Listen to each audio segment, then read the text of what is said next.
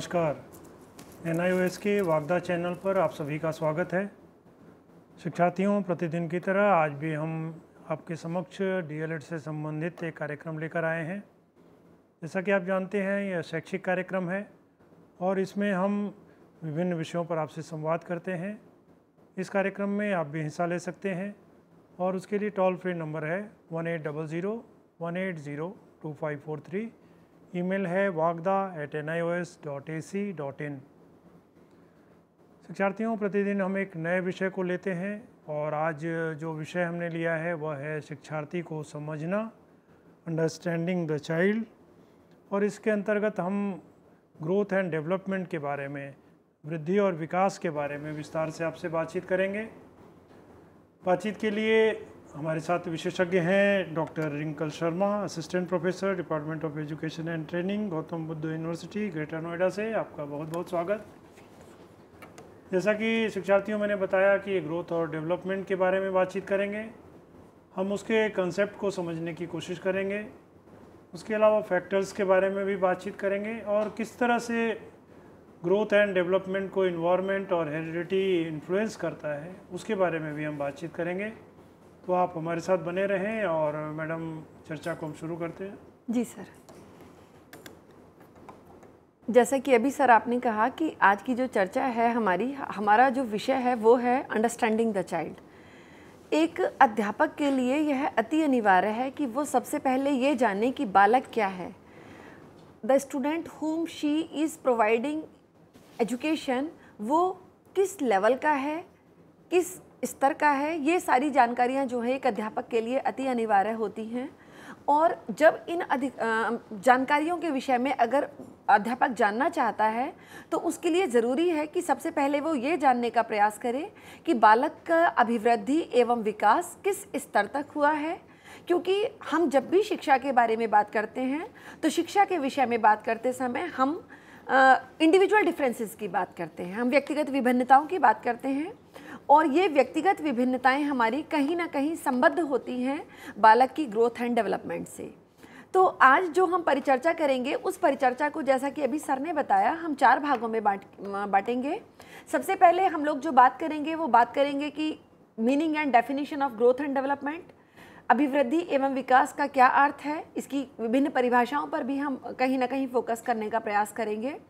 उसके बाद में हम लोग बात करेंगे what type of principles are there of growth and development उसके बाद में हम बात करेंगे व्हाट आर द स्टेजेस कौन कौन सी ऐसी स्टेजेस हैं जो कि ग्रोथ एंड डेवलपमेंट में आती हैं।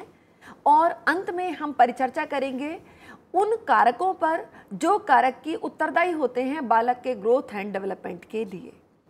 उसके साथ ही साथ हम लोग बात करेंगे कि एक अध्यापक की क्या भूमिका है, बालक के ग्रोथ एंड डेवलपमेंट के लिए कि उसका प्रॉपर ग्रोथ एंड डेवलपमेंट हो। दूसरी चीज़, ये जो ग्रोथ एंड डेवलपमेंट का जो परिकल्पना है, ये किस तरीके से एक अध्यापक के लिए महत्वपूर्ण हो सकती है, साथ ही साथ बालक के लिए किस प्रकार से महत्वपूर्ण हो सकती है? जी जी। तो सामान्य तौर पर देखें तो शिक्षकों को समान समान रूप से इसका प्रयोग करते हैं। ग्रोथ और डेवलपमेंट का। तो इसमें अंतर जो होता है वो समझना बहुत ज़रूरी है। और जैसा कि अभी मैडम आपने बताया कि आ, हर क्लास में अलग अलग तरह के बच्चे मिलते हैं। तो अगर आप उनके डेवलपमेंट के बारे में विस्तार से नहीं जानते हैं उसके सिद्धांतों को नहीं जानते हैं तो शायद आप न्याय नहीं कर पाएँगे। न्याय नहीं कर पाएँगे।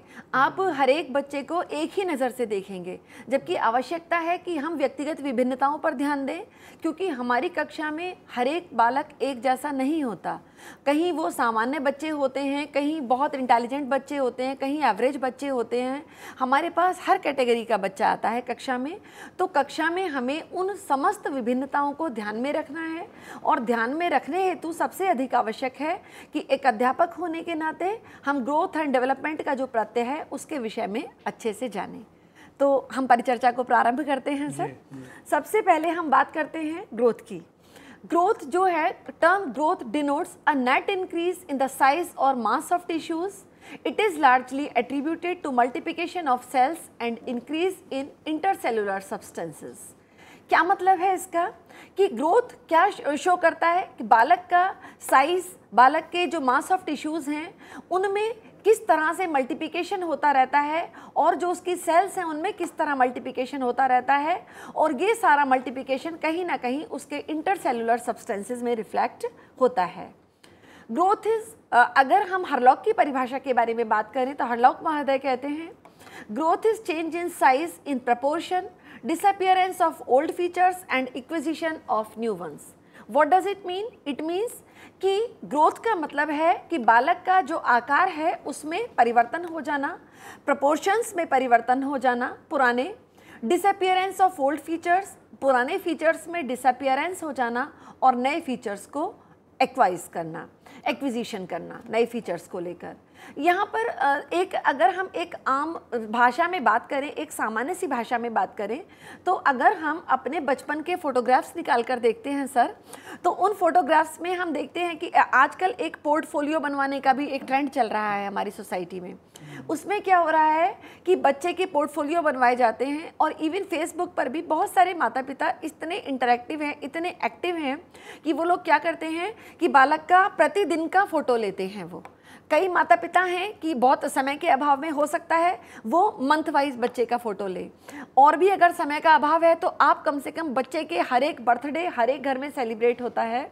और आप बालक की हर एक वर्षगांठ का अगर फ़ोटो लें तो वो फ़ोटो ये इंगित कर देता है कि एवरी ईयर बालक का जो साइज़ है इट इज़ चेंज्ड उसके प्रपोर्शन में चेंज है और उसके जो ओल्ड फीचर्स हैं दीज आर डिसअपियरिंग और वो क्या कर रहा है एक्वायर कर रहा है क्या नए फीचर्स तो अगर हम इसे साधारण शब्दों में समझें तो इससे अच्छा उदाहरण नहीं हो सकता कि आप बालक के विषय में जानकारी इस प्रकार कलेक्ट करते हैं। वो कहीं ना कहीं ये रिफ्लेक्ट करता है कि हाँ बालक की ग्रोथ हुई।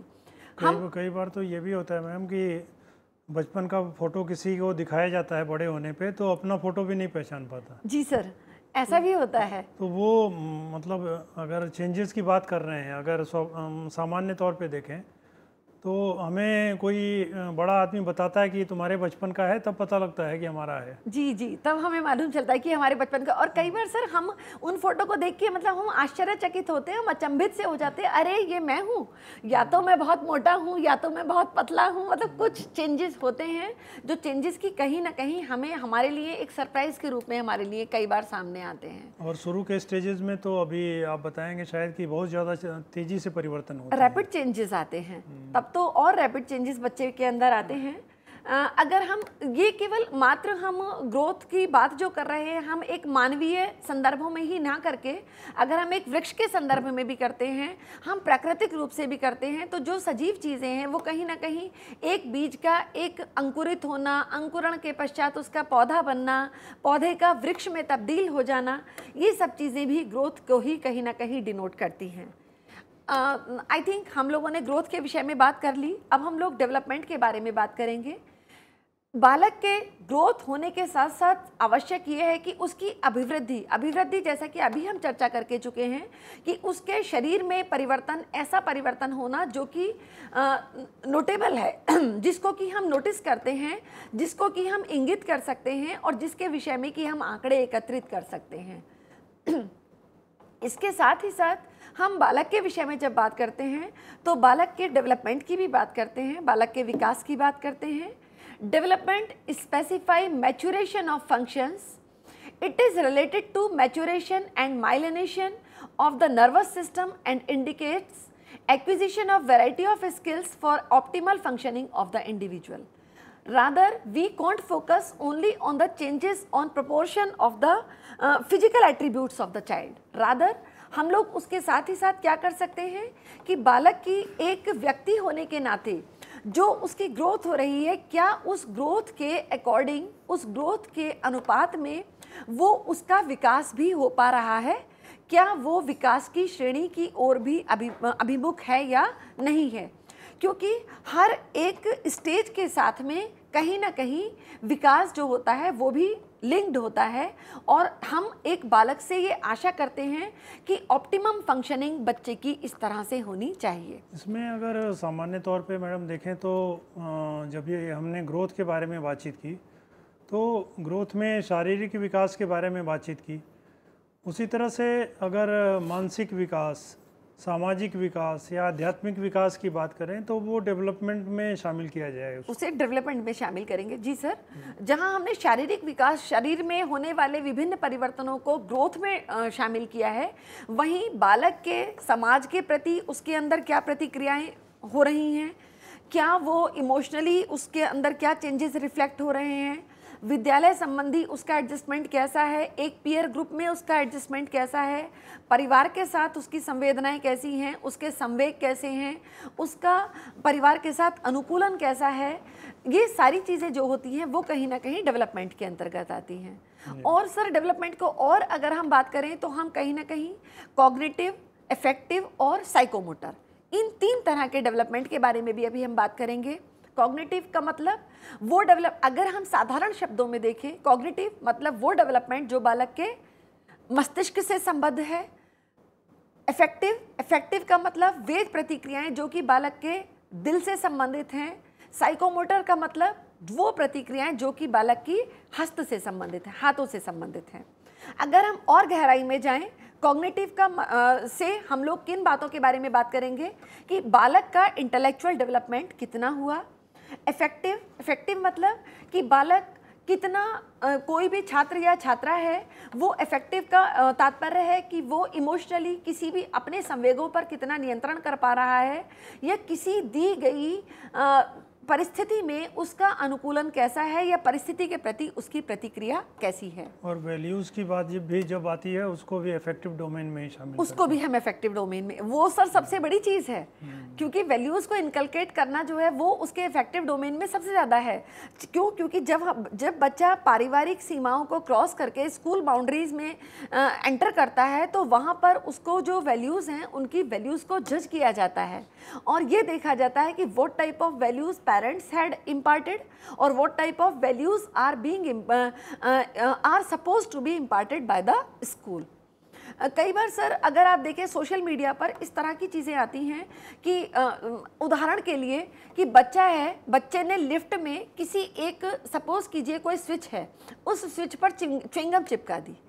तो ये, अब यहाँ पर किसकी गलती है? क्या वो बालक की गलती है? क्या वो उस समाज की गलती है जहाँ पर कि बच्चा पल रहा है, या उस उम्र की गलती है? यहाँ डेवलपमेंट का तात्पर्य, जिन वैल्यूज़ की आपने बात की तो वो वैल्यूज़ का जो प्रारंभ हो जाता है, वो परिवार से ही हो जाता है।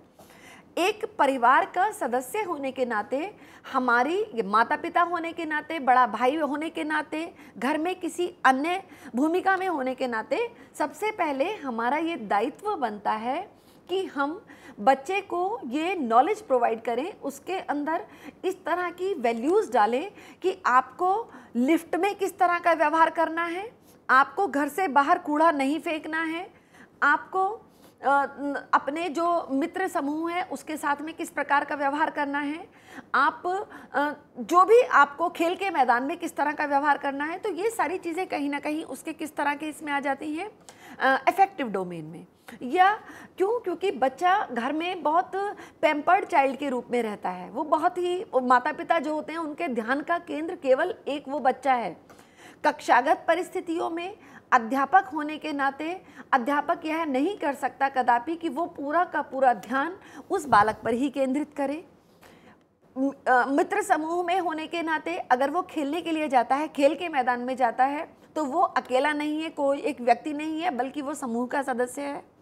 तो समूह में होने वाली प्रतिक्रिया उसकी कैसी होगी? उस प्रतिक्रिया के विषय में हम उससे क्या अपेक्षाएँ करते हैं? ये सारी चीज़ें उसकी इफ़ेक्टिव डोमेन में आती हैं। तो साइकोमोटर में हम स्किल्स के बारे में देख सकते हैं। जी सर डिफरेंट टाइप्स के स्किल हम हमारा डेवलप करना लक्ष्य होता है।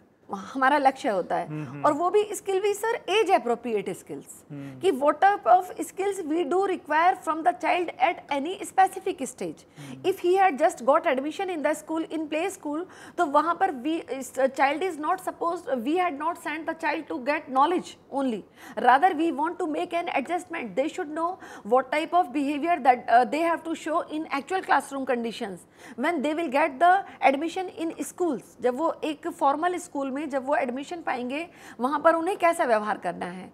तो ये सारी साइकोमोटर स्किल्स जो घर में अभी हम बात करके चुके हैं कि घर में बालक आ, माता पिता का बड़ा लाड़ला है। वहाँ पर उसकी एक आवाज़ पर उसके लिए पानी देने के लिए उसकी एक आवाज़ पर उसके लिए ब्रेकफास्ट देने के लिए उसके लिए लंच सर्व करने के लिए उसकी माँ है या कोई घरेलू कोई भी परिचारिका है।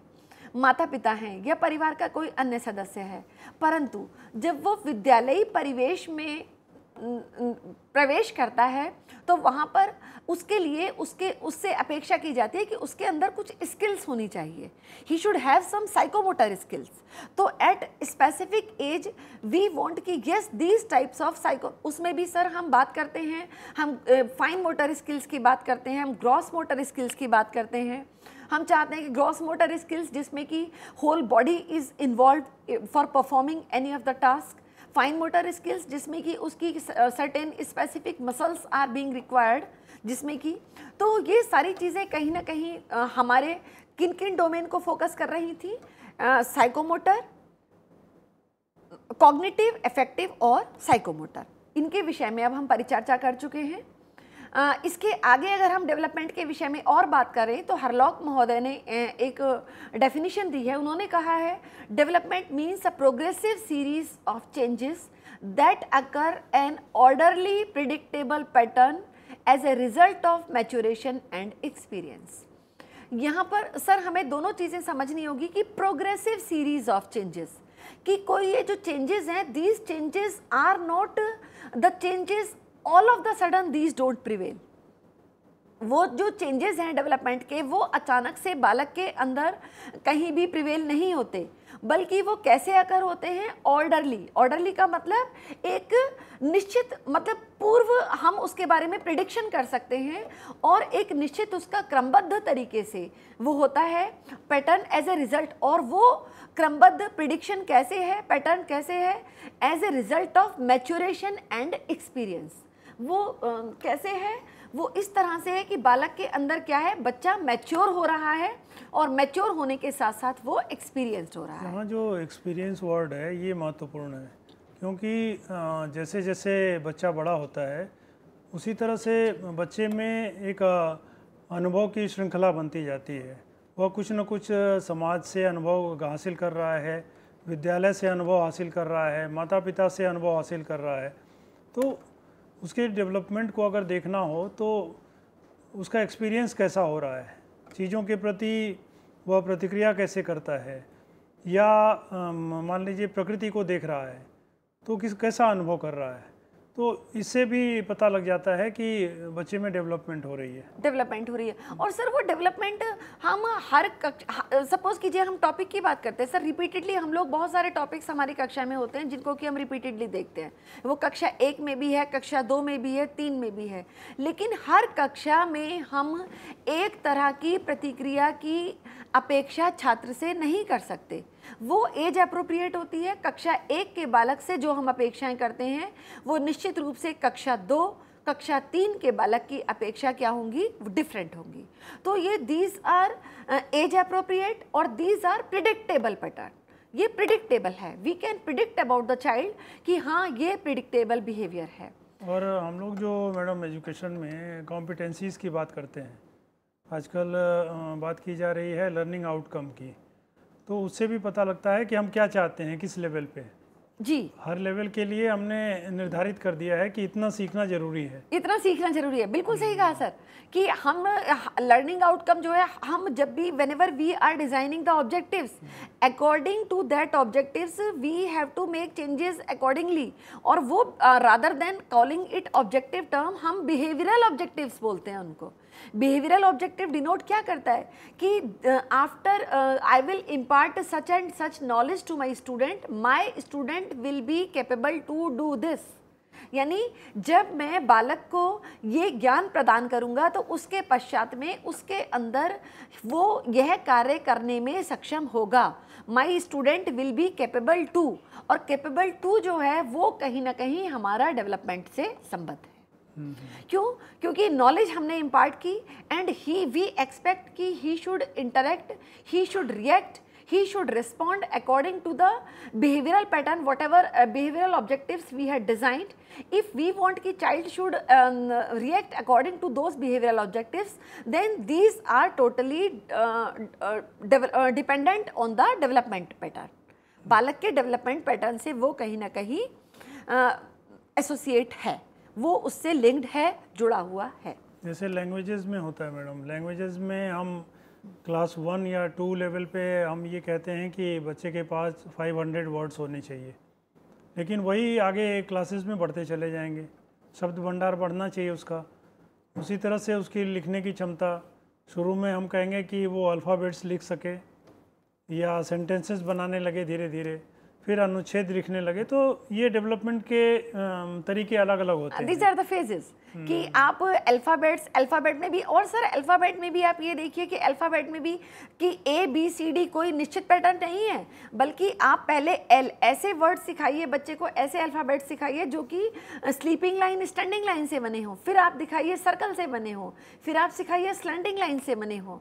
उसमें भी schools are applying different type of approaches to impart this knowledge to the student and वो ही जो अभी आपने कहा alphabets do change in to words words कैसे होते हैं? स्मॉल वर्ड्स उसके बाद में वो थोड़ा सा बड़ा शब्द हो सकता है. Word changes into sentence then sentences changes into paragraphs तो बच्चा बिकम्स वो क्या हो जाता है? वो बहुत ज़्यादा महारत हासिल कर ले कर लेता है कि हाँ अब मैं मेरे भाषा पर बहुत अच्छी पकड़ बन गई। किसी भी सब्जेक्ट पे इसको अप्लाई करके देख सकते हैं. ज्योग्राफी में है शुरू के फ़र्स्ट टू फिफ्थ में हम ये चाहते हैं कि उनको राज्यों का नाम पता हो उसकी कैपिटल पता हो। लेकिन फिफ्थ के बाद आगे बढ़ेंगे तो हम देश से बाहर भी कैपिटल क्या हैं अलग अलग देशों के उसके बारे में भी बात करने लगते हैं। यस सर तो, राज्यों में जी हाँ जी। ये स्टेजेस हैं। मैं बताना ये चाहता हूँ कि डेवलपमेंट को आप आसानी से देख सकते हैं। और बहुत सारे हमारे पास स्टैंडर्डाइज्ड टेस्ट हैं। जिस तरह से कि हमारे पास स्टैंडर्डाइज टेस्ट हैं, वो ये कहते हैं प्रमाण की प्रमापीकृत परीक्षण कि बालक की ग्रोथ इतनी हो जानी चाहिए। इस निश्चित अवस्था में उसकी इतनी ग्रोथ होनी चाहिए। इन द सेम मैनर हम लोग बालक के डेवलपमेंट के बारे में भी कहीं ना कहीं ये जानकारी हासिल कर सकते हैं कि हाँ क्योंकि अध्यापक के लिए सर ये सारी चीज़ें जानना बहुत आवश्यक है। उसको ये जानकारी होनी चाहिए कि बालक की ग्रोथ एंड डेवलपमेंट का ये पैटर्न है। और इस कक्षा के बालक को मुझे इस तरह से ट्रीट करना है। इस स्टूडेंट को मुझे क्यों? Because he is having such a growth and he is on this type of cognitive developmental stage he is on this type of effective developmental stage he is having this type of psychomotor developmental stage तो we can as a teacher we can expect these things from the students हम student से ये सारी चीज़ें जो हैं उनकी आशा या अपेक्षा कर सकते हैं। जी। तो अब हम आगे बढ़ते हैं। अब हम बात करते हैं किस पर? Principles of growth and development हर एक चीज़ के कुछ सिद्धांत होते हैं तो विकास और अभिवृद्धि के भी कुछ सिद्धांत हैं जिन पर हम अब परिचर्चा करेंगे। सबसे पहली बात डेवलपमेंट इज़ कॉन्टीन्यूस सर, जैसे कि आपने कहा था कि अभी कुछ देर पहले हम लोगों ने बात की थी कि ग्रोथ में कुछ निश्चित अवस्थाएँ होती हैं जहाँ पर कि बच्चे का जो ग्रोथ है वो बहुत रैपिड ग्रोथ होता है। और ग्रोथ एक निश्चित अवस्था तक आने के बाद में रुक जाती है। एक निश्चित अवस्था पर आने के बाद में आपकी ग्रोथ आप जैसे हैं, वो ये तो हो सकता है कि आप बूढ़े दिखें, लेकिन बहुत ज़्यादा drastic change will not reflect in your personality वो चेंजेस जो हैं, वो बहुत ज़्यादा खासतौर से बॉडीली प्रपोर्शंस जो हैं, उनमें आपके बहुत ज़्यादा चेंजेस नहीं होते। एक निश्चित अवस्था में वो आकर रुक जाते हैं। But in reference to development अगर हम डेवलपमेंट के रेफरेंस में बात करें तो development is called it continues from womb to tomb ये बालक के जब माँ गर्भवती होती है, तब से लेकर, तब तक, जब तक कि बालक वॉम टू टॉम्ब यानी मृत, जन्म से लेकर मृत्यु तक विकास की जो अवस्था है, वो चलती रहती है। ये कंसेप्शन से चलता है, और जब तक बालक मैच्योरिटी तक चलता है, तब तक हमने बात की कि ग्रोथ एंड डेवलपमेंट की। Development of both physical and uh, mental traits continues uh, gradually until these traits reach their maximum growth. It goes continuously throughout life. Even when maturity has been attained, development does not end. इसका मतलब है कि हमने growth के विषय में जो बात की कि ग्रोथ एक निश्चित अवस्था पर आकर बच्चे की ग्रोथ रुक सक रुक जाती है एक युवावस्था के पश्चात जब वो आता है तो उसकी ग्रोथ का एक पीरियड आ जाता है कि यस अब उसको जितनी मैक्सिमम हाइट अटेन करनी थी, उतनी हाइट उसने पाली। उसके बॉडीली प्रोपोर्शन के जो चेंजेस की हमने बात की, जो चेंजेस रिफ्लेक्ट होने थे, वो चेंजेस रिफ्लेक्ट हुए। लेकिन डेवलपमेंट जो है development continues from womb to tomb development हमेशा चलता रहता है और उसके लिए कोई ऐसे नहीं है कि कोई निश्चित अवस्था है। जैसे कि हम बात करते हैं कि सीखने की कोई उम्र नहीं होती कि आप किसी भी उम्र में सीख सकते हैं। बहुत सारे हमारे पास इस तरह के उदाहरण आते हैं कि आप आ, सीखने सीखना जो है वो उम्र का मोहताज नहीं है। वो कहीं ना कहीं यही दिखाता है कि डेवलपमेंट इज़ कॉन्टीन्यूस डेवलपमेंट क्या है? वो अनवरत है और हमेशा चलता रहता है। और इट डज नॉट एंड ये एंड नहीं होता। दूसरा डेवलपमेंट इज़ ग्रेजुअल अभी जैसा कि हमने ग्रोथ के विषय में भी बात करा कि growth all of the sudden ऐसा नहीं होता कि बच्चा आज सोया और कल को बहुत बड़ा होके उठा। ऐसा नहीं है। बल्कि ग्रोथ क्या है? ग्रोथ ग्रेजुअल होती है धीरे धीरे होती है। In the same manner development is also gradual development भी क्या है बच्चे का? ग्रेजुअल है। It does not come all of the sudden ये एकदम से नहीं आता, बल्कि ये क्या है? ये क्यूमुलेटिव है इन नेचर यानी हम जैसे कि बालक के कक्षाओं में क्यूमुलेटिव रिकॉर्ड्स रखे जाते हैं इन द सेम मैनर हम उसके डेवलपमेंट के भी क्यूमुलेटिव रिकॉर्ड्स जो हैं वो मेंटेन कर सकते हैं। Third point development is sequential development क्या है? सीक्वेंशियल है। Most psychologist agree that development is sequential और orderly even every species whether animal or human follows a pattern of development peculiar to it This pattern in general is uh, same to all individual. The child crawls before he creeps, stands before he walks and babbles before he talks. इसका तात्पर्य है कि sequential है development में हर बालक को एक ही पैटर्न फॉलो करना है। ऐसा नहीं होगा कि बालक अचानक से चलना शुरू कर दे, चाइल्ड अचानक से चलना शुरू कर दे, बल्कि क्या करता है, चाइल्ड क्रॉल्स बिफोर ही क्रीप्स। क्रीप करने से पहले वो क्या करता है, क्रॉलिंग करता है। स्टैंड होने से पहले वो क्या करता है स्टैंड बिफोर वॉक। अगर वो खड़े होना है, अगर हम चाहते हैं कि हमारे बच्चे का डेवलपमेंट ऐसा हो, उसका विकास इस तरह का हो कि वो वॉक कर रहा है तो ये आवश्यक है कि उससे पहले उसको चलना आना चाहिए। आप ऑल ऑफ़ द सडन अपने बच्चे से या विद्यालय में भी आप बच्चे से यह आशा सर ये तो केवल उसके कॉग्निटिव डेवलप उसकी फ़िज़िकल डेवलपमेंट की बात है। अगर आप इमोशनल डेवलपमेंट की भी बात करते हैं, अगर आप उसके सोशल डेवलपमेंट की भी बात करते हैं तो उसका कोई भी डेवलपमेंट जो है वो सिक्वेंशियल होता है। वो आ, ऐसे नहीं है कि आप उससे बहुत ज़्यादा आशाएँ नहीं कर सकते। वो सीक्वेंस में होता है और वो एक निश्चित अवस्थाओं को पार करते हुए आगे बढ़ता है। जी तो अभी एक छोटा सा ब्रेक ले लेते हैं शिक्षार्थियों और ब्रेक के बाद आकर इसी चर्चा को आगे बढ़ाते हैं।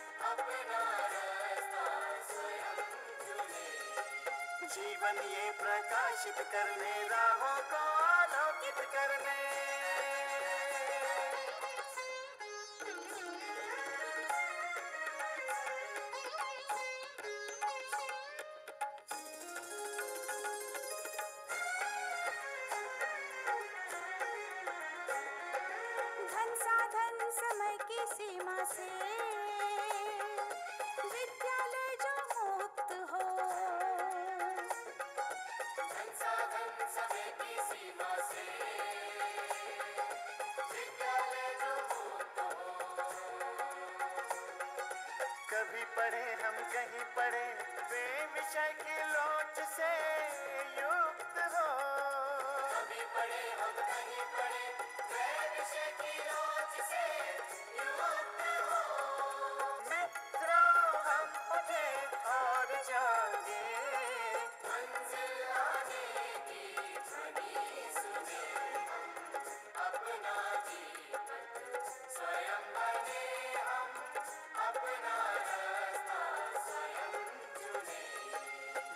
जीवन ये प्रकाशित करने राहों को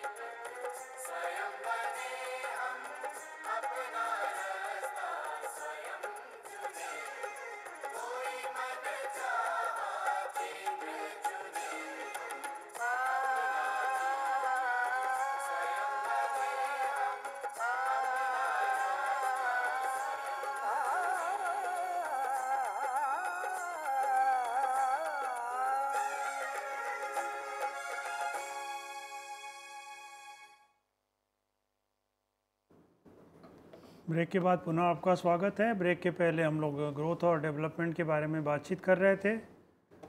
उसकी अवधारणाओं के बारे में हमने बातचीत की। उसी में हम आगे प्रिंसिपल्स को देख रहे हैं और उसके प्रिंसिपल्स में और क्या जोड़ना चाहेंगे मैम? जी सर।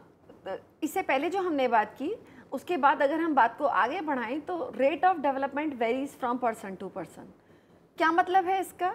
कि एक व्यक्ति व्यक्तिगत हमारा हमने जब ये चर्चा प्रारंभ की थी हमने चर्चा प्रारंभ करते समय भी यही बात की थी कि एक अध्यापक होने के नाते यह ज़िम्मेदारी है कि हम इंडिविजुअल डिफरेंसेस को समझें। और इंडिविजुअल डिफरेंसेस को समझने के लिए हमें ग्रोथ एंड डेवलपमेंट के पैटर्न को समझना होगा। अ, इसी उसी क्रम को आगे बढ़ाएँ अगर हम तो rate of development varies from person to person individual differences की जब हम बात करते हैं तो डेवलपमेंट जो है वो एक व्यक्ति का दूसरे व्यक्ति से अलग होता है।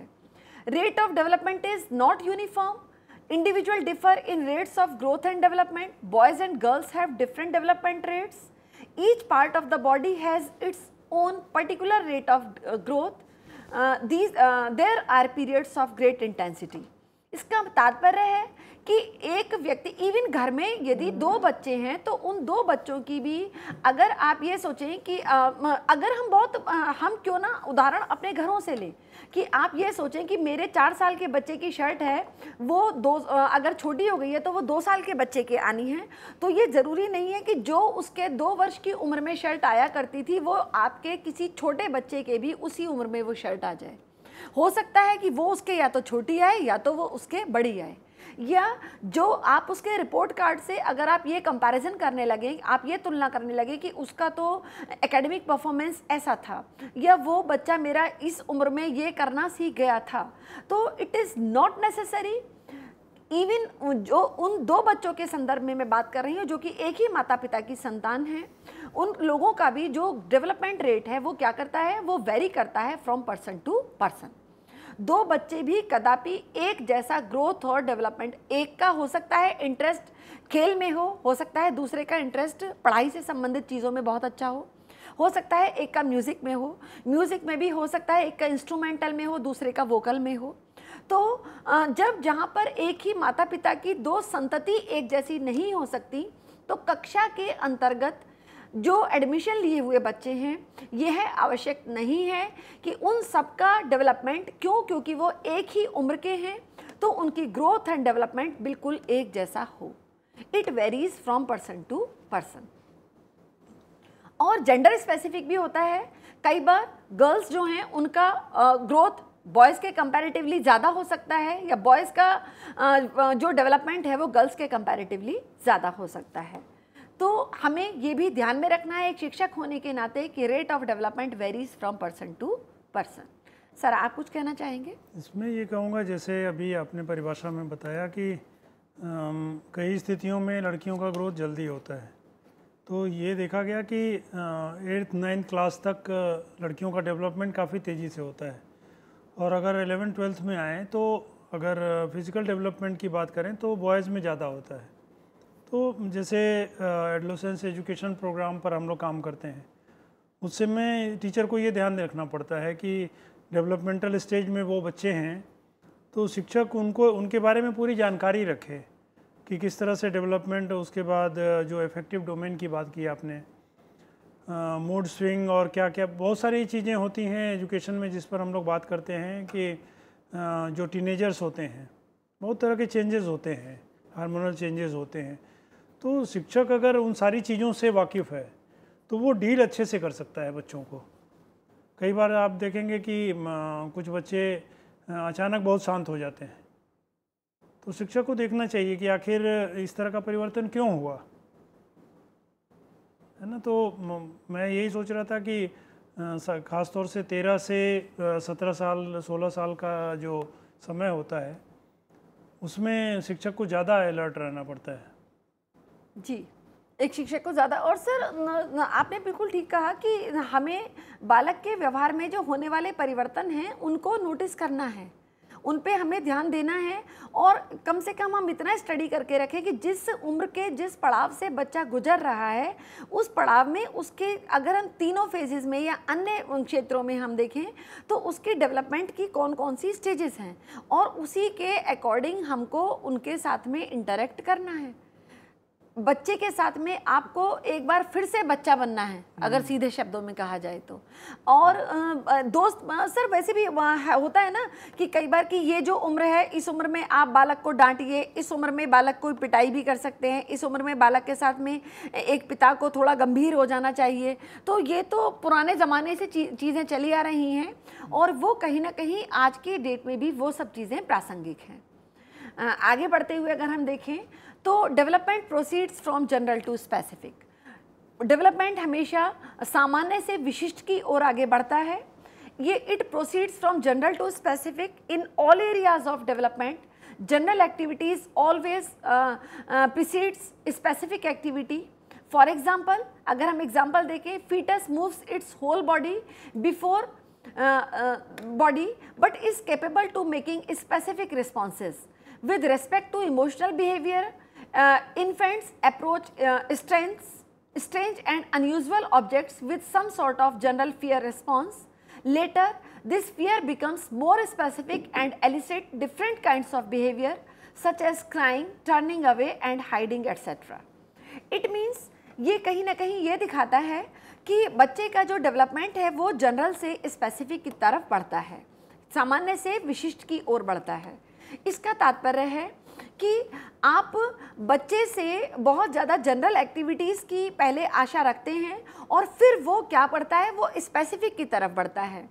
यहाँ पर फीटस का हम लोगों ने एग्ज़ाम्पल दिया कि वो आप किसी स्पेसिफिक रिस्पॉन्स को करने की जगह पर पहले क्या करता है? वो अपनी होल बॉडी को मूव करता है। बच्चे की जो ग्रेस्पिंग पावर होती है, वो भी यहाँ तक कि वो पहले होल हैंड को यूज़ करता है, उसके बाद में बच्चा होल हैंड के बाद में उसकी पिंसिंग पावर बढ़ती है कि वो किसी चीज़ को क्या करता है फिंगर से ग्रेस्प करना सीखता है। तो ये चीज़ दिखाती है कि बच्चे का जो डेवलपमेंट है, वो प्रोसीड होता है from general to specific next most traits are correlated in development Generally, it is seen that the child whose mental development is above average is also superior in so many other aspects like health, sociabil- sociability and specific attitude. Most traits are correlated in development.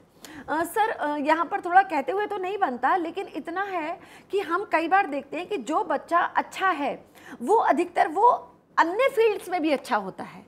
अगर हम कक्षागत परिस्थितियों में देखें तो अगर आपके पास कोई बहुत इंटेलिजेंट स्टूडेंट है who is scoring very well academically he is performing very well तो आप कई बार क्या होता है कि आप उसको डिफरेंट असाइनमेंट्स भी देते हैं अपार्ट फ्रॉम दिस आप जानते हैं कि ये स्टेज पर भी किसी भी प्रोग्राम का कोऑर्डिनेशन कर सकता है ये स्टेज पर एंकरिंग कर सकता है ये बच्चा if I assign any duty he can perform very confidently he can perform very honestly इसका मतलब क्या है? कि जो मोस्ट ऑफ़ द ट्रेड्स हैं डेवलपमेंट के, वो कोरिलेटेड होते हैं। या आप लैंग्वेज डेवलपमेंट की जब आप बात करते हैं, बच्चा अगर अच्छा है तो वो किसी एक फ़ील्ड में अच्छा ना होकर यूजुअली हम देखते हैं कि वो विभिन्न क्षेत्रों में अच्छा करने का प्रयास करता है। आप इस बात से सर कितना सहमत हैं? इसमें मैं जोड़ना चाहूँगा, अगर क्लासरूम टीचिंग का अनुभव सारे शिक्षकों को है, अगर किसी बच्चे को प्रमोट करते हैं आप, उसको शाबाशी देते हैं कि आप तुमने यहाँ पे बहुत अच्छा किया तो वो उसका विल पावर इतना बढ़ जाता है सेल्फ इस्टीम उसका इतना बढ़ जाता है कि वो दूसरे काम में अपने आप अच्छा करता है। तो यहाँ शिक्षक को इस मनोविज्ञान को समझने की ज़रूरत है। कि अगर आप किसी बच्चे को प्रमोट कर रहे हैं, उसको फैसिलिटेट कर रहे हैं तो निश्चित रूप से अन्य क्षेत्रों में भी वो अच्छा करेगा।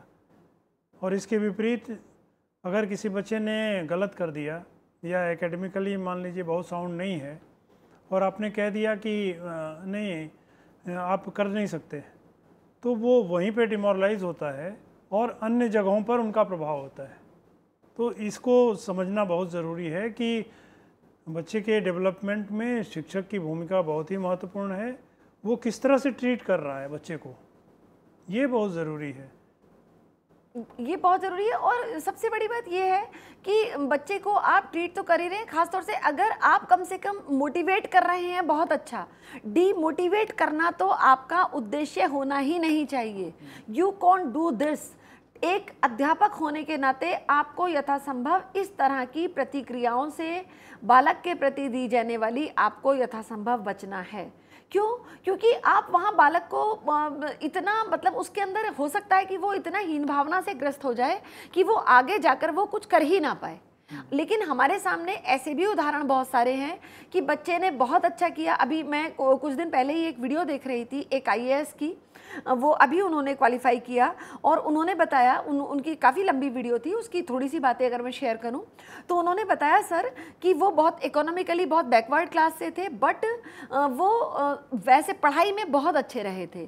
तो उसका परिणाम ये हुआ कि उनको कई बार विद्यालय में वो प्रवेश पा जाते थे और प्रवेश पाने के बाद में जो फ़ीस इत्यादि थी कई बार उसके उनके अध्यापक भर देते थे।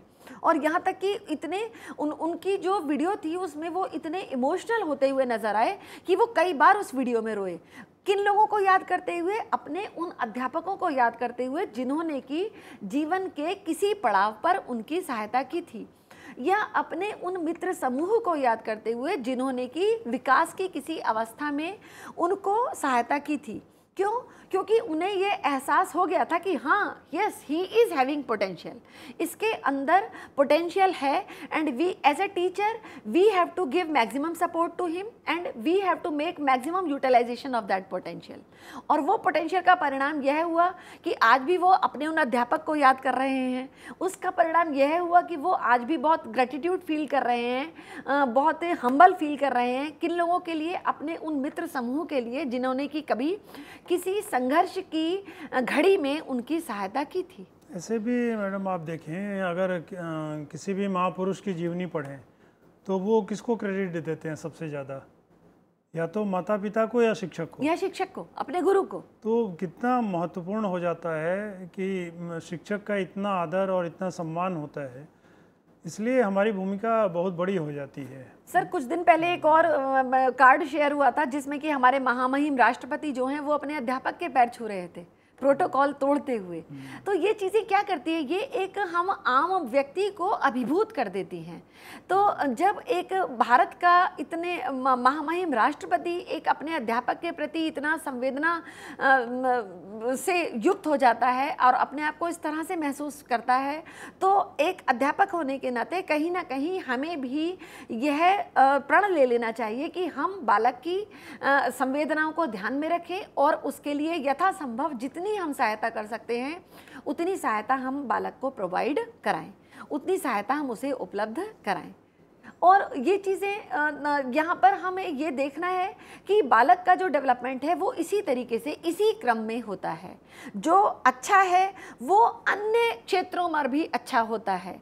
आवश्यकता है कि हम उन क्षेत्रों को पहचानें, उन क्षेत्रों को तवज्जो दें और हम उन्हें इतना अभिप्रेरित करें कि yes you can do well in this sphere आप इस क्षेत्र में अच्छा कर सकते हैं। क्यों? क्योंकि ये जो जितनी जानकारी हम यहाँ पर इकट्ठी करे हैं, जिस तरह से हम चर्चा कर रहे हैं, हमारा उस चर्चा का जो अंतरिम उद्देश्य है, वो यही है कि एक अध्यापक होने के नाते आपकी यह भूमिका है कि आप उन प्रिंसिपल्स को समझें, उन्हें तवज्जो दें और कक्षागत परिस्थितियों में बच्चे की उम्र उसकी जो कार्यक्षेत्र है उसकी कार्यक्षमता इन सब चीज़ों को ध्यान में रखते हुए आप उसे यथासंभव हर संभव उसको अभिप्रेरित करें। इसीलिए संस्कृत में श्लोक सब लोग जानते हैं गुरु ब्रह्मा गुरु विष्णु। क्यों कहा गया इतना? या कबीरदास भी लिखते हैं कि गुरु गुरु कुमार हाँ गुरु कुमार शिशु कुंभ है घड़ी घड़ी काढ़े खोट। तो कहने का मतलब ये है कि ये सारे सिद्धांत जो बने हैं उसका उदाहरण हम देख सकते हैं कि कितनी बड़ी भूमिका हो जाती है जब पूरे व्यक्तित्व को निखारता है एक शिक्षक। वही पोटेंशियल को पहचानता है और वही उसको मैक्सिमम तक, ऊंचाई तक ले जाता है। जी, और वो ही कहीं ना कहीं हमारे समाज के लिए फिर कितना सकारात्मक देते हैं। ये देखिए, क्योंकि अनडायरेक्टली हम लोग तैयार तो फ्यूचर यूज़ के ही लिए कर रहे हैं ना बच्चे को, कि आप एक ह्यूमन कैपिटल ह्यूमन रिसोर्स तो आप तैयार कर ही रहे हैं, जो कि कहीं ना कहीं देश के लिए अपना योगदान देगा। आगे बढ़ते हैं sir.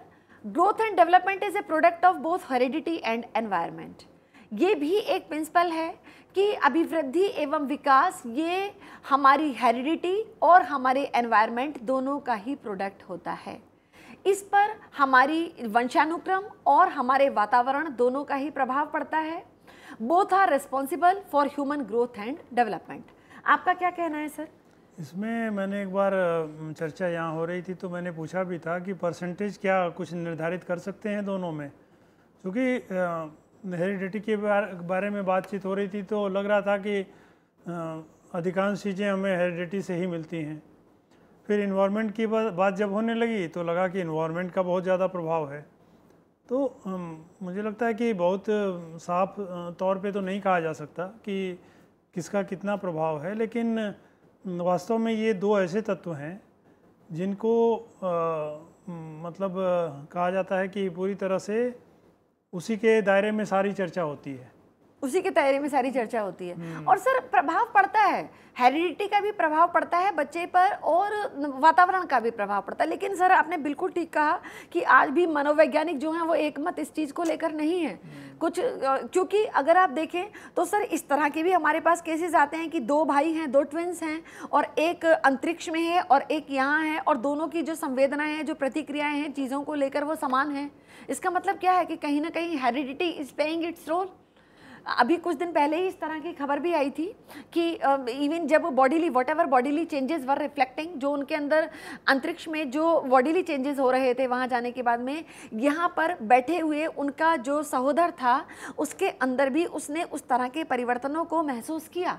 तो हेरिडिटी इज़ प्लेइंग रोल और एनवायरनमेंट का रोल हम बहुत सारे ऐसे मनोवैज्ञानिक तथ्यों के बारे में बात करते हैं, जिसमें कि मनोवैज्ञानिक कहते हैं कि आप हमें बच्चा दीजिए और हम उसे जो चाहें, हम उसे उस तरह के रोल में तब्दील कर सकते हैं। कुछ भी बना सकते हम चाहें उसे डॉक्टर चाहें हम उसे इंजीनियर और हम चाहें जो बना सकते हैं। और सर इस तरह की भी हमारे पास में स्टडीज़ हैं जिन स्टडीज़ में कि बच्चे को जब समाज से अलग रखा गया जब एक परिष्कृत या संवर्धित वातावरण से अलग रखा गया तो उसका ना तो लैंग्वेज डेवलपमेंट हो पाया और ना ही उसका सोशल डेवलपमेंट हो पाया। इवन बच्चे ने चलना भी अपने चारों हाथों पैरों से शुरू कर दिया।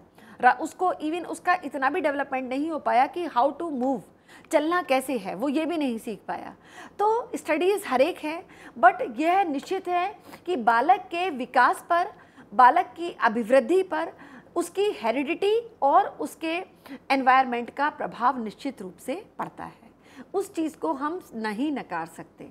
इसमें जो प्रभाव है वातावरण का, उसका तो सामान्य तौर पे भी देखा जा सकता है कि हम चाहते हैं कि अच्छे स्कूल मिले बच्चे को पढ़ने के लिए।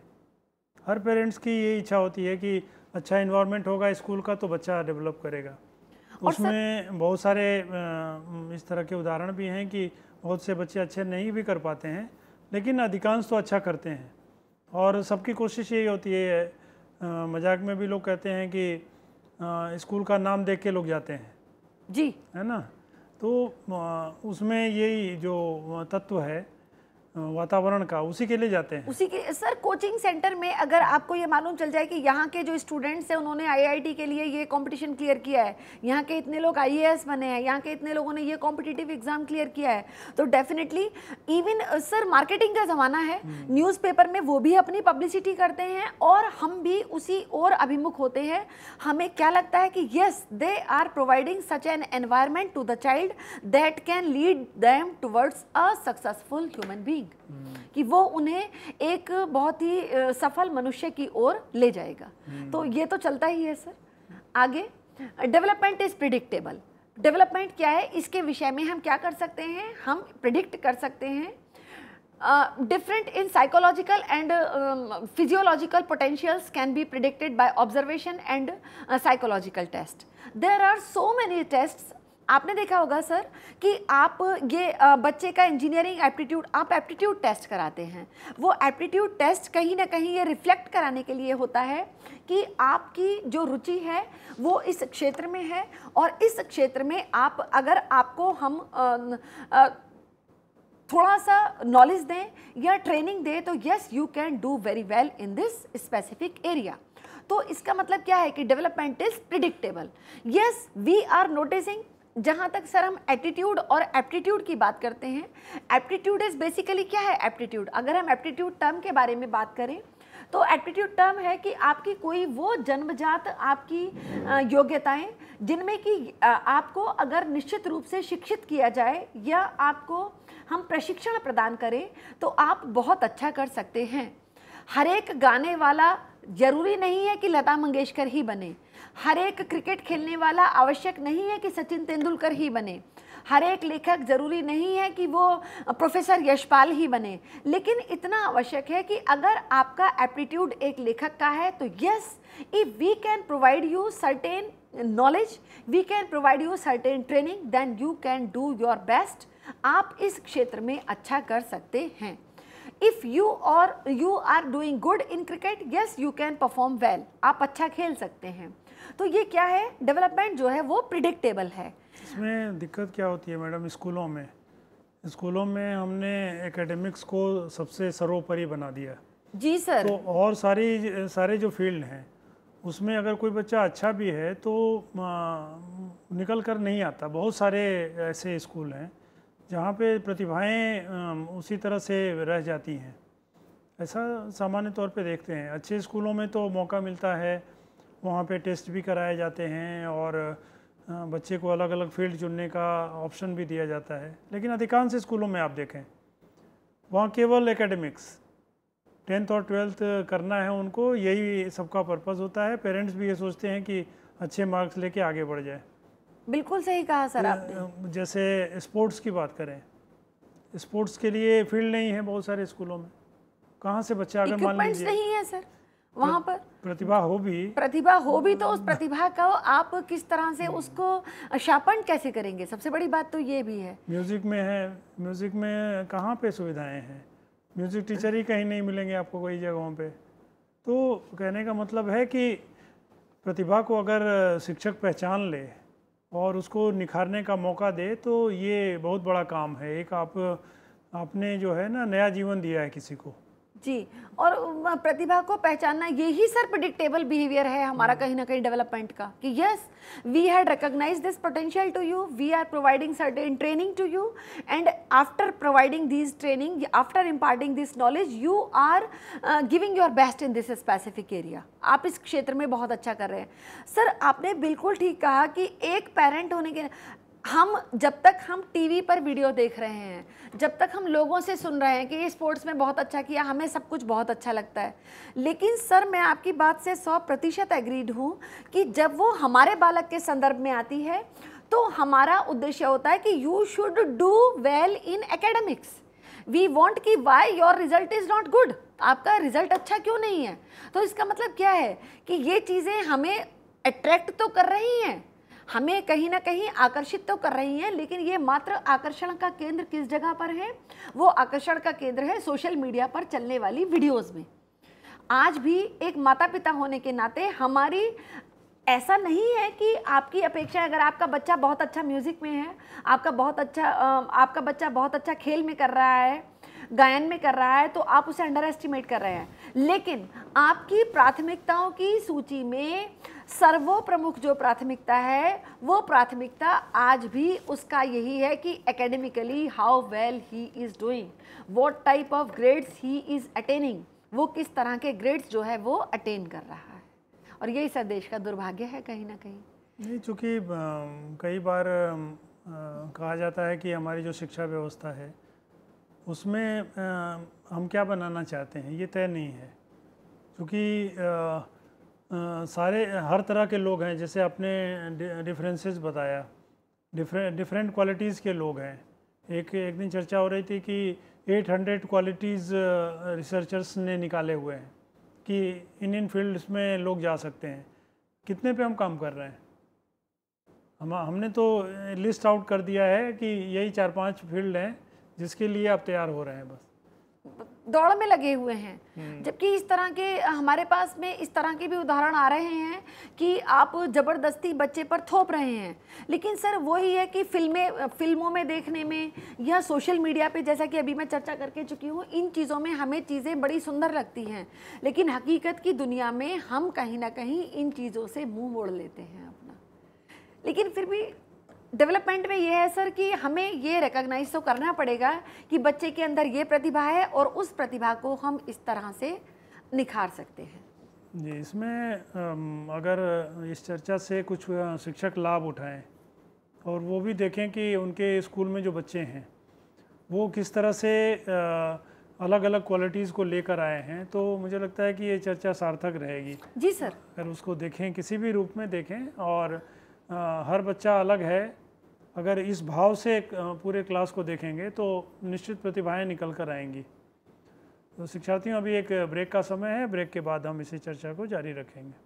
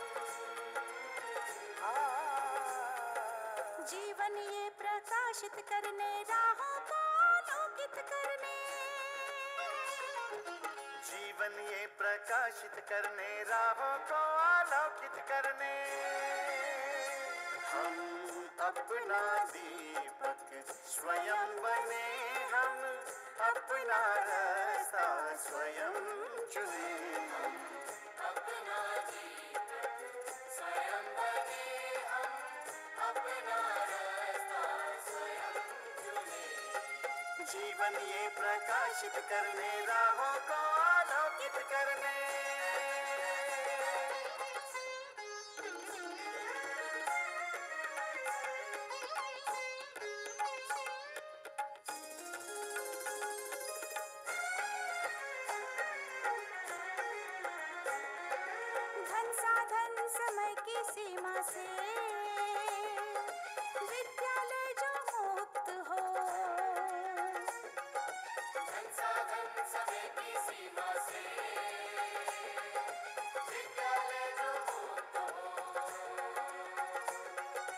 कभी पढ़े, हम कहीं पढ़े। वे विषय की लोच से युक्त हो। कभी पढ़े, हम कहीं पढ़े।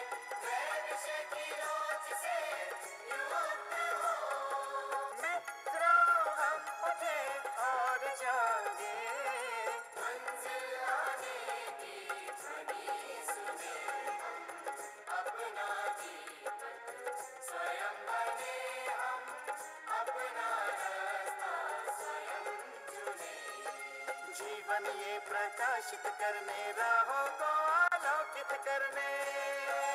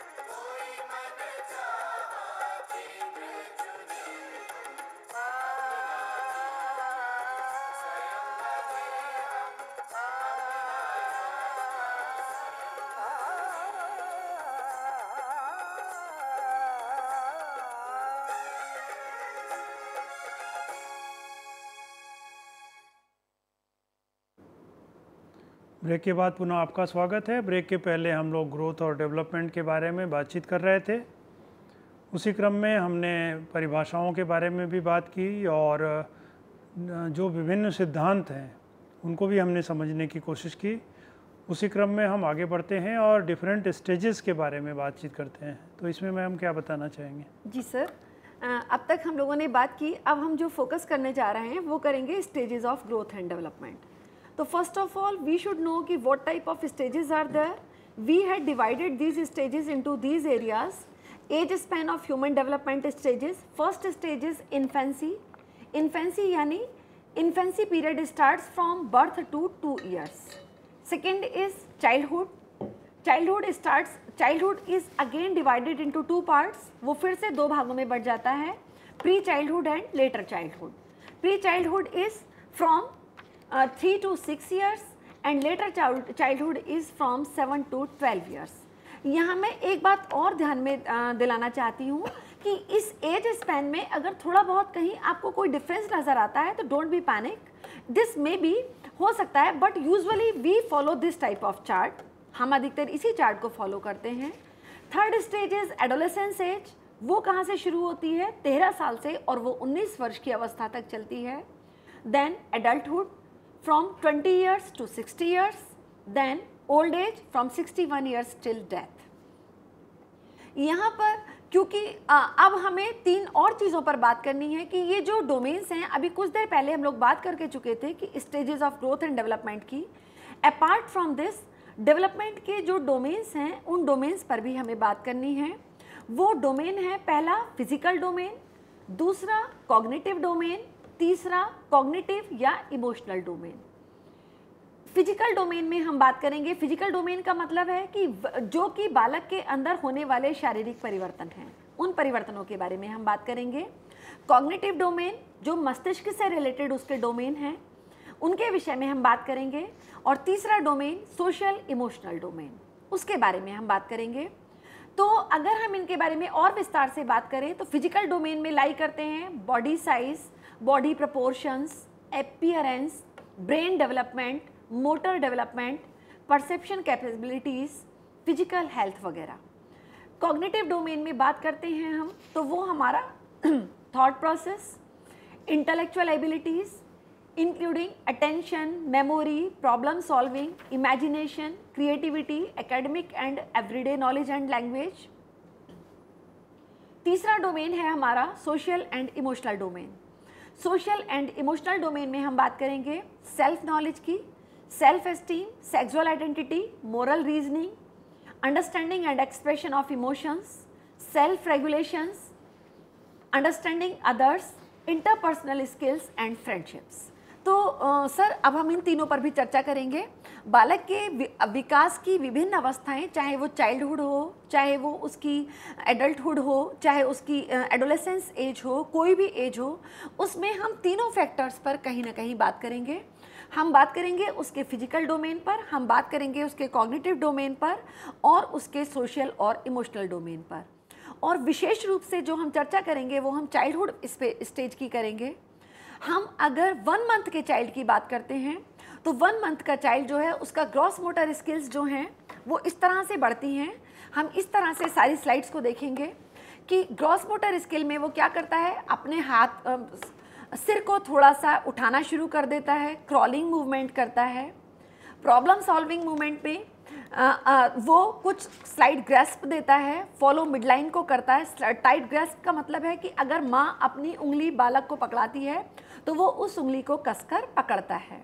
Language alerts to sound alerts to sound if any sound is being created for the child बालक के लिए कोई साउंड क्रिएट की जाती है तो वो उस साउंड को रिएक्ट करता है। सोशल में रिगार्ड्स टू फेस वो फेस को भी रिकग्निशन देना प्रारंभ करता है। दो माह के बच्चे का, दो माह के बच्चे के विषय में अगर हम बात करें तो उसका gross motor skill visual motor skill language और सोशल या एडप्टिव बिहेवियर सबसे पहले हम बात करेंगे ग्रॉस मोटर स्किल्स की। वो अपनी चेस्ट को ऑफ़ टेबल स्टार्ट कर देता है उठाना, यानी सहारा लेकर उठने का प्रयास कर सकता है उल्टा होकर। उसके बाद में वो फॉलो करता है ऑब्जेक्ट को। लैंग्वेज में सोशली स्माइल करता है। अगर उसको स्ट्रोक किया जाए, उससे बात की जाए तो वो कहीं ना कहीं उस पर स्माइल देता है। और सोशल या अडप्टिव बिहेवियर की अगर हम बात करें तो बच्चा रिकग्नाइज करता है किसको? अपने माता पिता को। तीन माह के बच्चे के विषय में अगर हम बात करें तो फिर से हम उसको चार भागों में ही हमने बांटा है। उसमें बच्चा होल्ड करता है अपने हेड को जहाँ वो एक इससे पहले वाली स्टेज में बच्चा आ, सहारा लगाकर अपने आप को अपलिफ्ट करने की कोशिश कर रहा था। यहाँ पर बच्चा क्या कर रहा है? वो हेड को क्या करता है? अपने को होल्ड करना जानता है। विजुअल मोटर प्रॉब्लम सॉल्विंग में वो अपने होल्ड हैंड को होल्ड करता है और चीज़ों को रिस्पॉन्ड करता है। लैंग्वेज में अब वो आवाज़ क्रिएट करना शुरू करता है और सोशल बिहेवियर में वो रिएक्ट करता है उन लोगों के लिए जो कि उसके फैमिलियर होते हैं। जो जानकार लोग होते हैं उनको वो रिएक्ट करता है। चार माह का बच्चा, चार माह का बच्चा रोल करता है फ्रॉम फ्रंट टू बैक हम इससे पहले बात करके चुके वो अपलिफ्ट करने का प्रयास करता है। दूसरे में हमने बात की कि वो अपने हेड को अपलिफ्ट करता है। यहाँ पर इस अवस्था तक आते आते बच्चा रोल कर सकता है अपने आप को और उसके बाद में वो क्या करता है? शिफ्ट करता है अपने वेट को। विजुअल मोटर स्किल में वो लॉफ करता है और चीज़ों पर अपना ध्यान केंद्रित करता है। लैंग्वेज में अगर हम बात करते हैं तो वो लुकिंग अराउंड एनवायरनमेंट उसके आसपास का जो एनवायरनमेंट है, वो उसको, बच्चे को अगर हम बात करने का प्रयास करें तो वो हमें रिस्पॉन्ड करता है। आगे बढ़ते हैं। पाँच माह का बालक, पाँच माह का बालक फिर से वो सिट सपोर्टेडली अगर उसके चारों तरफ़ तकिया वगैरह लगाया जाए कुशंस लगाया जाए, उसको बैठने के लिए प्रयास किया जाए तो बच्चा बैठने का प्रयास करता है। वो ऑब्जेक्ट को अपने हाथ से दूसरे को ट्रांसफ़र करना जानता है।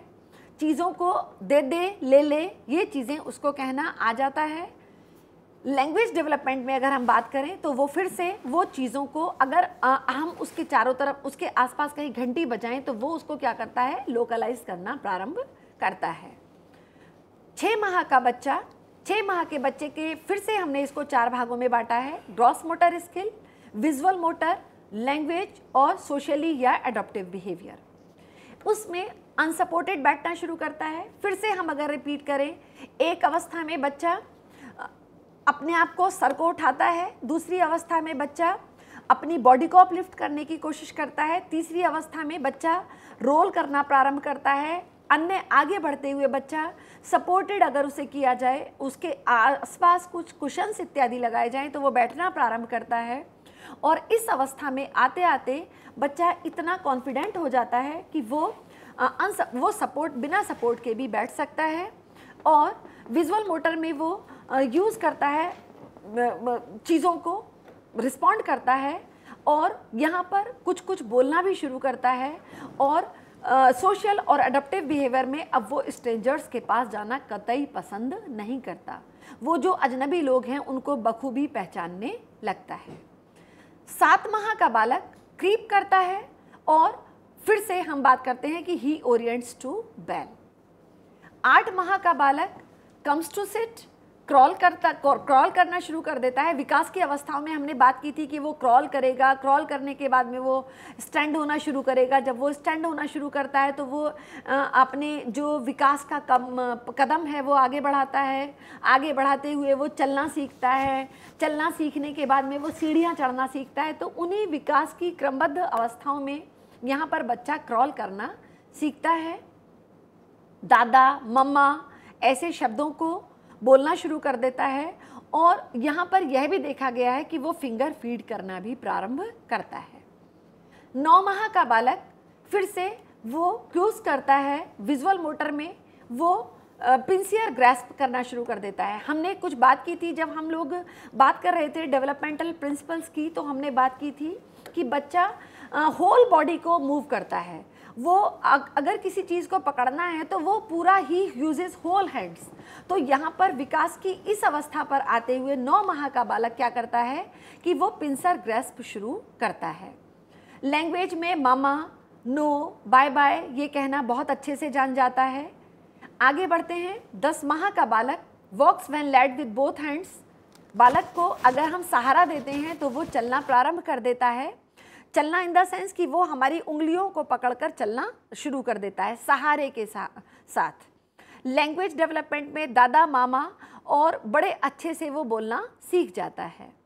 आगे बढ़ते हुए 11 माह का बालक walks when led with one hands held जहाँ इससे पहले हमारा बच्चा हमारे दोनों फिंगर्स को पकड़कर, हमारे दोनों हाथों की फिंगर को पकड़कर चलना प्रारंभ किया था। यहाँ पर अगर हम उसे एक हाथ का सहारा दें तो उस एक हाथ के सहारे से वो अपने कदमों को आगे बढ़ा सकता है। बारह माह के बच्चे से वॉक्स अलोन वो independently he can walk language में, वो बहुत सारे दो वर्ड्स को बोलना, दादा, मामा, मम्मा, पापा, दीदी, भैया, ये सब चीज़ें सीख जाता है। और एक्शंस को कोऑपरेट करता है और ड्रेसिंग्स जो होती है, उनमें भी कोऑपरेट करना शुरू करता है। अगर हम उससे कहें लेग अप तो वो लेग को अप करेगा at the time when we are trying to make him wear any knicker अगर हम उससे कहते हैं कि वियर द शर्ट तो बेटा आर्म्स अप तो वो हमारी उसमें कहीं ना कहीं हेल्प करता है। तो सर, विकास की अवस्थाओं में हमने सबसे पहले ये चाइल्डहुड के बारे में, पूरे 12 माह के विषय में हमने बात की। और मैं यहाँ पर एक चीज़ कहना चाहती हूँ कि यहाँ पर पेरेंट्स कतई ऐसा मतलब उनकी तरफ़ से ऐसा वो नहीं होना चाहिए कि my child is on this stage and he is not performing this task these are just generalization ये क्या है? जनरलाइजेशन है। ये एक निश्चित समूह पर किया गया एक जो सर्वे है, उस सर्वे के रिजल्ट्स हैं।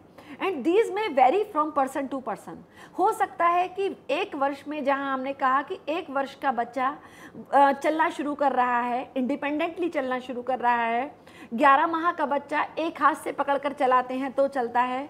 10 माह का बच्चा, जब हम दोनों हाथों से चलाने का प्रयास करते हैं, तब चलना शुरू करता है।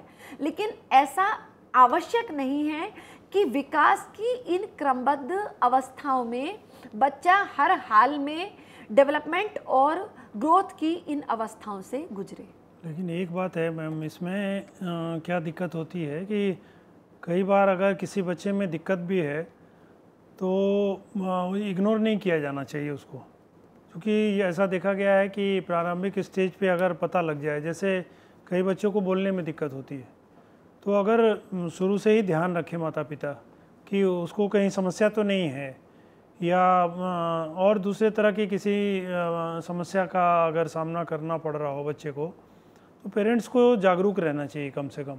तो ये एक मुझे लगता है कि गाइडलाइंस है कि आप इसको इसको ध्यान में ज़रूर रखिए। इसको ध्यान में अ, लेकिन यहाँ पर कुछ पेशेंस दिखाने की भी ज़रूरत है।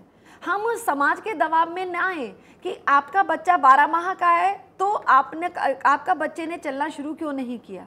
आपके बच्चे का इतना लैंग्वेज डेवलपमेंट क्यों नहीं हुआ?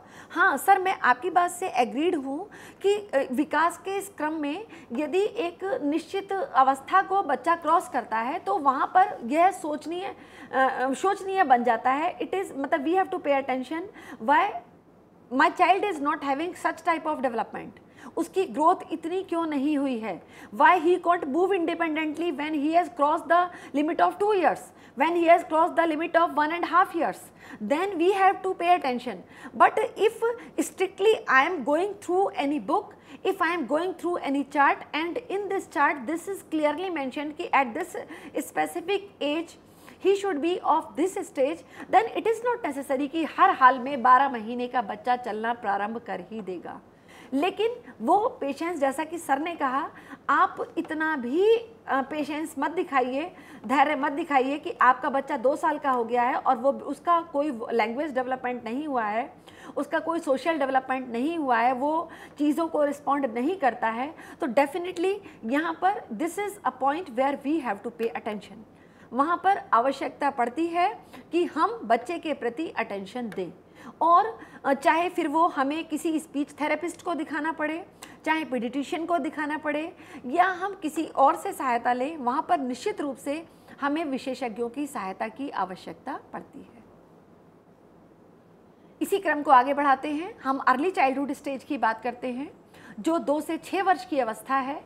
इसमें बच्चे के जो फीचर्स हैं, वो इस तरह से हैं। इन्फेंसी फीचर्स आर स्ट्रेंथन जो भी इन्फेंसी फीचर्स थे वो स्ट्रेंथनड हो जाते हैं, मजबूती मिलती है। वो मजबूती इन द सेंस कि वो चलना अच्छे से शुरू करता है, बोलने में आत्मविश्वास आता है, समाज के प्रति उसकी जो अभिक्रिया है, वो दमदार होती है, वो वजनदार होती है। फ़िज़िकल ग्रोथ अकर्स उसकी muscles speed in body action blood pressure develop होता है अच्छे से। लैंग्वेज स्किल डेवलप होती हैं और वो नए शब्द जो हैं, वो उसकी वोकेबुलरी में शामिल होते हैं। और ये नए शब्द वो मात्र ना केवल अपने विद्यालय में सीखता है, बल्कि ना केवल परिवार में सीखता है, बल्कि विद्यालयी परिवेश में या उन साथी लोगों के साथ में, जिनके साथ में कि वो खेल के मैदान में अपना समय व्यतीत कर रहा है, उनके साथ में भी वह इन सारी चीज़ों को सीखता है। इसके पश्चात आता है कि अगर हम आगे बात करें, वो कॉन्सेप्ट करता है सोशल रिलेशन डेवलपमेंट उसका सामाजिक जो रिलेशन है, वो डेवलप होता है। He crosses the boundary of his own society वो अपने परिवार की सीमाओं को लांघता है। उसकी मेमोरी इंक्रीज होती है। प्रश्न पूछता है वातावरण के विषय में। और यहाँ पर यह भी आवश्यक है कि एक अध्यापक होने के नाते बच्चे द्वारा पूछे गए प्रश्नों को आप धैर्यपूर्वक सुने और उसके द्वारा पूछे गए प्रश्नों का संतोषजनक जवाब दें। और अगर आप के पास जवाब नहीं है तो आप उसको बाद में भी बोल सकते हैं। अगर आपका मूड नहीं है तो बाद में बोल सकते हैं। लेकिन आप इस क्रम में झुंझलाएँ नहीं, बल्कि आपको यहाँ पर पेशेंस शो करना है। सोशली वो न्यू फ्रेंड्स बनाता है सोशल अप्रूवल चाहता है अपने एक्शंस का। वो चाहता है कि whatever work he does he it should be socially approved वो, हर वो काम करना चाहता है, जिस काम में कि समाज उसको अप्रूवल दे। और अप्रूवल किन चीज़ों को दी जाती है? कि जहाँ पर क्यों? क्योंकि परिवार में उसको ये सिखाया जा रहा है, जैसे अभी हम कुछ देर पहले बात करके चुके थे कि परिवार, बालक की प्रथम पाठशाला है, कि सबसे पहले वो परिवार में ही सब चीज़ें सीखेगा। तो परिवार में किस तरह से सीखेगा? कि आप बच्चे को बताइए कि आपको सोशली इस तरह का बिहेवियर करना है कोई मिलेगा तो आपको नमस्ते करनी है, कूड़ा नहीं फेंकना है, अपनी चीज़ों का ख्याल रखना है, अपने साथियों को नुकसान नहीं पहुंचाना है, खेल में पेशेंस दिखाना है। तो ये सारी चीज़ें सोशल अप्रूवल वो ये बताना जान, जाता है इस उम्र तक आते आते कि कोई भी कार्य है, जो मैं कर रहा हूँ इट इज़ सोशली अप्रूव्ड मेरे द्वारा किए गए किसी भी प्रतिक्रिया पर समाज की जो अभिक्रिया होगी, वो कैसी होगी? समाज उसे स्वीकृत करेगा और उस पर अपना पॉजिटिव रिस्पॉन्स देगा। इमोशनल डेवलपमेंट स्टार्ट हो जाता है बच्चे का, कि वो इमोशनली चीज़ों को अच्छे से करता है और चीज़ों पर अपनी प्रतिक्रिया देता है। इसके अतिरिक्त भी अगर हम लेटर चाइल्डहुड के विषय में हम बात करें तो लेटर चाइल्डहुड स्टेज में बच्चा फिर से एक उसकी एक नई दुनिया होती है, वो अपने साथियों के साथ में उसका अच्छा व्यवहार होता है। यूजुअली वो अपने पीयर ग्रुप के साथ खेलना पसंद करता है। सोशली अप्रूव्ड बिहेवियर चाहता है। खेल में उसका एक निश्चित खेल समूह बन चुका होता है। कक्षा में अध्यापक द्वारा दिए गए जो इंस्ट्रक्शंस होते हैं, उनको वो बड़े अच्छे से फॉलो करता है। आगे बढ़ते हैं हम। अब हम एडोलेसेंस पीरियड के बारे में बात करेंगे, जो कि विकास की अवस्थाओं में आता है और 12 से 19 साल की अवस्था को हम इस अवस्था में लाते हैं। This is a period of adulthood and to some extent of maturity physically and socially this is called the spring romantic and period of storm and stress the development and growth vary from culture to culture and environmental factor influence a person at this stage some basic characteristics are as follows. Sir आपने भी सुना होगा युवावस्था storm and stress की अवस- अवस्था, संवेगों और तूफ़ान की अवस्था। सर क्या कहना है आपका? पहले जैसे मैं कह रहा था कि ये ऐसा एज है जिसमें शिक्षक को ज़्यादा अलर्ट रहने की ज़रूरत है। क्योंकि कई बार बच्चे अपने को भी नहीं संभाल पाते और उन्हें गलत सही का शायद उतना भान नहीं होता तो वहाँ एक गाइड करने वाला होना चाहिए। इसीलिए कहा भी गया है कि शिक्षक गाइड के रूप में भी है हमेशा। शिक्षक को पता होता है कि बच्चा क्या क्या व्यवहार कर सकता है इस एज में। तो उसमें बिना नियंत्रण के संभव नहीं है। और जो लोग भी सेकेंडरी लेवल पे सीनियर सेकेंडरी लेवल पे पढ़ा रहे हैं, उनको इस बात का अच्छा एहसास होगा कि किस तरह से बच्चों में बदलाव हो रहे हैं कई बार डिसिप्लिन की भी समस्या होती है स्कूलों में। उन सारी चीज़ों से निकलना होता है। और शिक्षक को कई बार साम दाम दंड भेद जो हम कहते हैं, सबका प्रयोग करना होता है। तो निश्चित रूप से यह एक टर्मोयल का पीरियड होता है, जिसमें बच्चों को संभालना ज़रूरी है। पेरेंट्स को भी संभालना चाहिए, शिक्षकों को भी संभालना चाहिए। और बहुत से बच्चे ऐसे होते हैं जिनमें मेच्योरिटी आ जाती है, बहुत गंभीर हो जाते हैं, लेकिन बहुत से बच्चों में नहीं भी आती है तो शिक्षक का दायित्व तो बढ़ जाता है इसमें निश्चित रूप से, सर। और अध्यापक होने के, सर, कई बार ऐसा होता है कि आप विद्यालयी परिवेश में जो बच्चा कर रहा है, आप उस, अगर आपको यह खबर लगती है तो आप सरप्राइज़ हो जाते हैं because you don't expect this this type of behaviour from your child तो इसका मतलब क्या है? क्योंकि वो विद्यालय में भी अपने आठ घंटे व्यतीत कर रहा है तो हो सकता है एक अध्यापक होने के नाते आपकी ये एक, आपकी ज़िम्मेदारी है कि आप हर बच्चे पर अपनी एक कीन आई रखें। आप एक पैनी नज़र बच्चे पर रखें। और सर, जो आपने कहा, उसमें अगर हम देखें तो इसी कारण विद्यालय में काउंसलर्स की नियुक्ति हो रही है और बड़े अच्छे पैसे देकर उन काउंसलर्स को नियुक्त किया जाता है। उसका कारण है कि वो काउंसलर्स कई बार बच्चे को जानने का प्रयास करते हैं और वो समस्याएँ जिनको कि बच्चे अपने परिवार के सदस्यों के साथ, अपने मित्र समूह के साथ, अपने जो अध्यापक हैं उनके साथ नहीं डिस्कस कर पाते, वो उन काउंसलर्स के साथ में उन चीज़ों को डिस्कस करते हैं। और काउंसलर्स उनको जो एक जो प्रोफेशनल अप्रोच है, वो अप्रोच उनको देते हैं कि यस आप इस प्रॉब्लम को कोप अप करने के लिए आप ये तरीका अपना सकते हैं। जैसे सामान्य सा उदाहरण है मैडम टेंथ के रिज़ल्ट के बाद या ट्वेल्थ के रिज़ल्ट के बाद बहुत सी अप्रिय घटनाएँ सुनने को मिलती हैं। वो इसी का परिणाम है कि कई बच्चे उसको झेल नहीं पाते हैं। और माननीय प्रधानमंत्री जी ने परीक्षा पे चर्चा, पूरा कार्यक्रम किया उस पर यही बताने के लिए कि परीक्षा ही पूरा जीवन नहीं है। वह एक पड़ाव है और उसमें सफलता असफलता मिल सकती है। आप अपना प्रयास जारी रखें। तो इसका मतलब है कि इस स्टेज पर विशेष मार्गदर्शन की ज़रूरत होती है। और विशेष मार्गदर्शन के लिए मतलब आवश्यक ये है कि आप, सबसे बड़ी बात कि जो विशेष मार्गदर्शन आप दे रहे हैं, उसमें आपको बच्चे की गरिमा का ख्याल रखना है। आपको उसके द्वारा जो भी सूचनाएँ उपलब्ध करी जा रही हैं you have to be very confidential you have to keep this very confidential आपको उनको बहुत कॉन्फिडेंशियल रखना है। कल ही सर मैं एक स्टोरी पढ़ रही थी बहुत छोटी सी स्टोरी है, उसको मैं समराइज करके बताती हूँ। उसमें है कि एक लड़की चॉकलेट खाती है। आप ये देखिए कि हमारे जो सलेबस है, आजकल वो सलेबस ही इस तरह से डिज़ाइन किया जा रहा है कि आप बच्चे के अंदर अच्छी जो वैल्यूज़ हैं, उनको इम्पार्ट कर रहे हैं। और वो लड़की चॉकलेट खाती है। माँ के लगातार मना करने के बाद भी वो नहीं मानती और यहाँ तक कि वो माँ जब उसे समझाती है, वो उसकी बात को रिपीट करती है। माँ के पर्स से पैसे लेती है, पैसे चुराती है, विद्यालय जाती है, वहाँ से चॉकलेट खरीदती है, रख लेती है। उन चॉकलेट को घर ले आती है और वो दो बची हुई चॉकलेट जो होती हैं, वो क्योंकि वो शाम को खेलने के लिए चली जाती है लड़की। और जब वो खेलने के लिए जाती है तो वो चॉकलेट जो है, उसकी वो बाहर ही रह जाती हैं कहीं ना कहीं।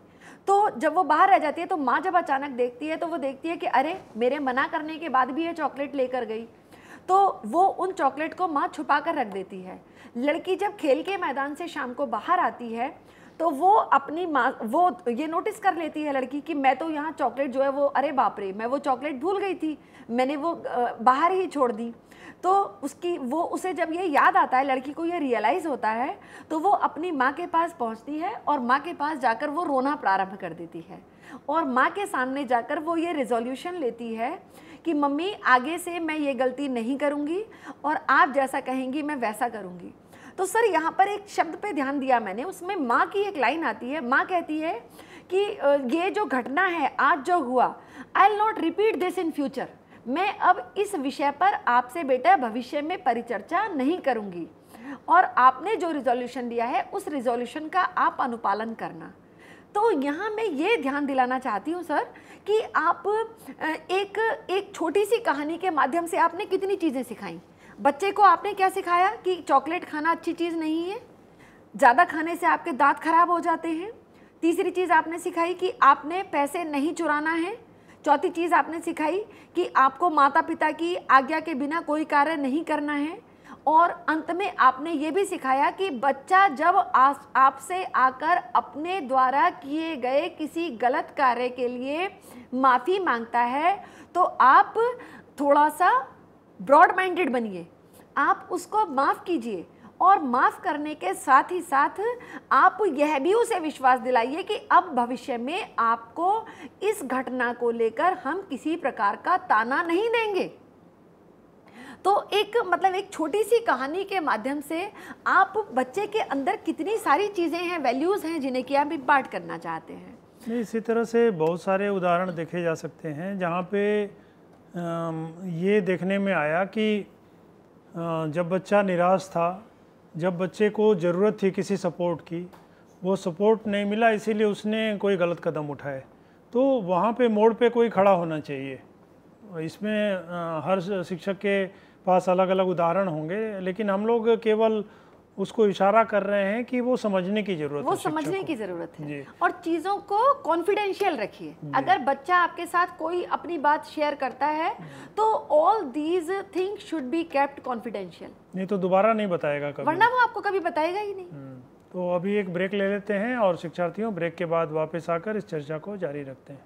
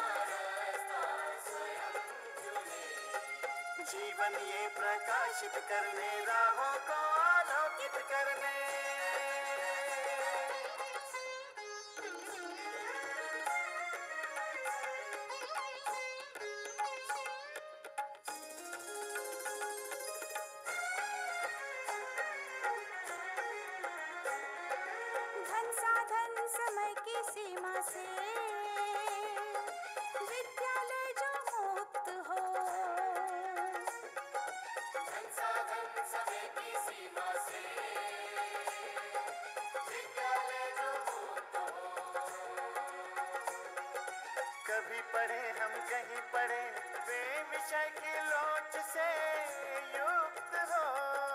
कभी पढ़े हम कहीं पढ़े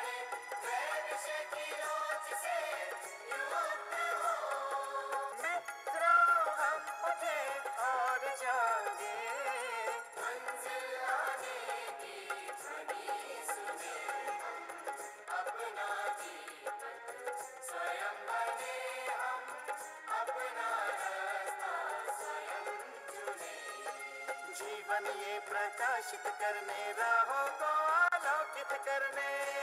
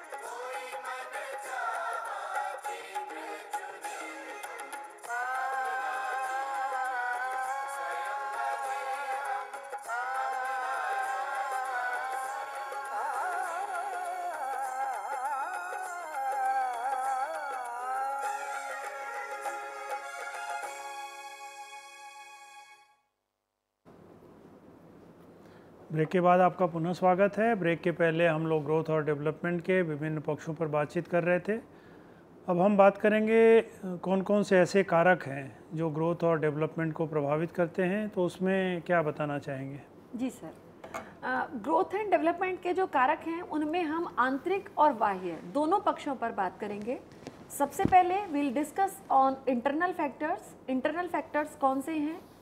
All those factors which lie within the individual are called internal factors these factors include heredity factors biological factors intelligence emotional factors and social nature हम अगर विस्तार से चर्चा करें इन सब फैक्टर्स पर तो सबसे पहले हम बात करेंगे हेरिडिटी फैक्टर हेरिडिटी फैक्टर का मतलब कि जो बच्चा वंशानुगत अपने माता पिता से प्राप्त करता है वंशानुक्रम में प्राप्त करता है और ना केवल माता पिता से, बल्कि अपने एंसेस्टर से whatever traits we adopt जो भी ट्रेड्स हमें मिलते हैं, वो सब ट्रेड्स जो हैं, वो इसमें लाई करते हैं। Height weight colour of eyes skin characteristic of hair ये सब चीज़ें जो होती हैं, वो कहीं ना कहीं हमारी हेरिडिटरी इन्फ्लुएंसेस में आती हैं। और आपने भी, छात्रों, थोड़ा पढ़ा हुआ होगा इस चीज़ के बारे में कि at the time of conception आप माता जब कंसेप्शन बेबी को कंसीव करती है, उसी टाइम हमारे दो जीन्स होते हैं, एक रिसेसिव होता है, एक डोमिनेटिंग होता है। दो जीन्स में रिसेसिव जीन होता है, वो माइनस हो जाता है और डोमिनेटिंग जीन जो है, वो डोमिनेट करता है। And this dominating gene may be either from father it may be or from mother वो या तो माता से या पिता से।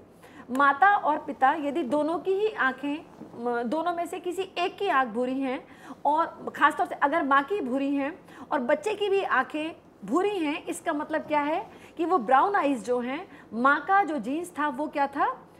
डोमिनेटिंग uh, था और पिता का जीन्स जो था वो रिसेसिव था। ये मतलब I had just given an example तो ये सारी चीज़ें कहीं ना कहीं बच्चे के जो डेवलपमेंट और ग्रोथ पर प्रभाव डालता है वो हेरिडिटी फैक्टर बहुत ज़्यादा डालता है।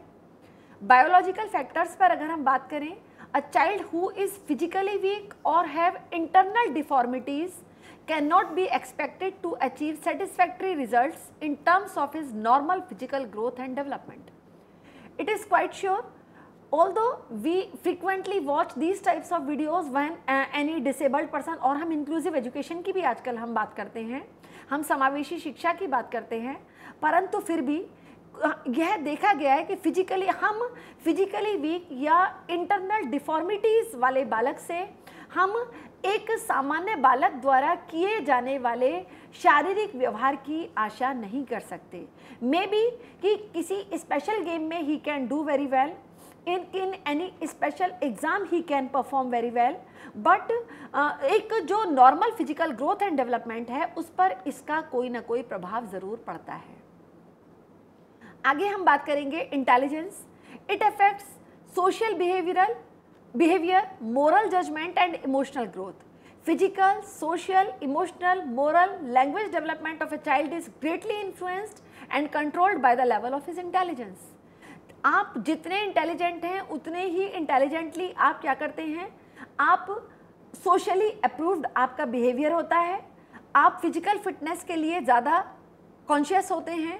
इमोशनली आप ज़्यादा स्ट्रेंथन्ड होते हैं और इमोशनली उतना ही स्टेबल होते हैं।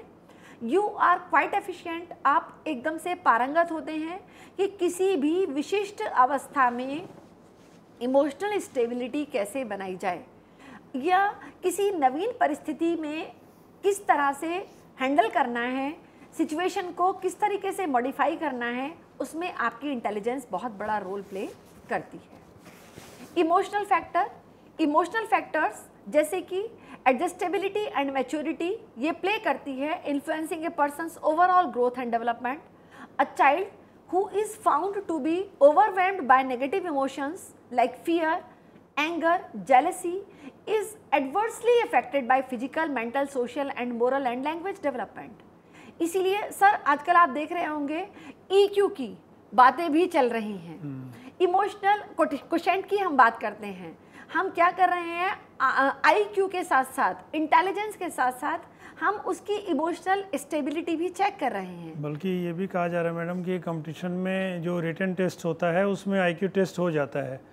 तो जो वाइवा होता है या इंटरव्यू वो ईक्यू टेस्ट के लिए ही होता है। वो ईक्यू टेस्ट के लिए होता है। और उसमें भी खासतौर से एक चीज़ सर इंटरव्यू के टाइम पर भी आजकल एक और नया चल रहा है कि they do ask these types of question what are your emotion negative aspects तो before going to face usually पहले uh, हम uh, हम ऐसा सुना करते थे कि if you are going for any interview तो you have to be very positive regarding the positive aspects of yourself आपको अपने जो सकारात्मक पक्ष हैं आपके व्यक्तित्व के, उनके बारे में आपको कॉन्शियस होना है।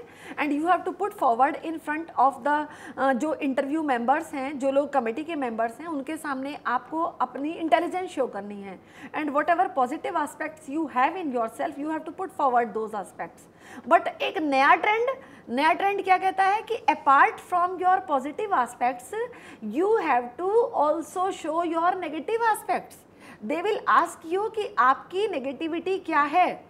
और उस नेगेटिविटी के लिए फिर मात्र यहीं तक बात खत्म नहीं हो जाती।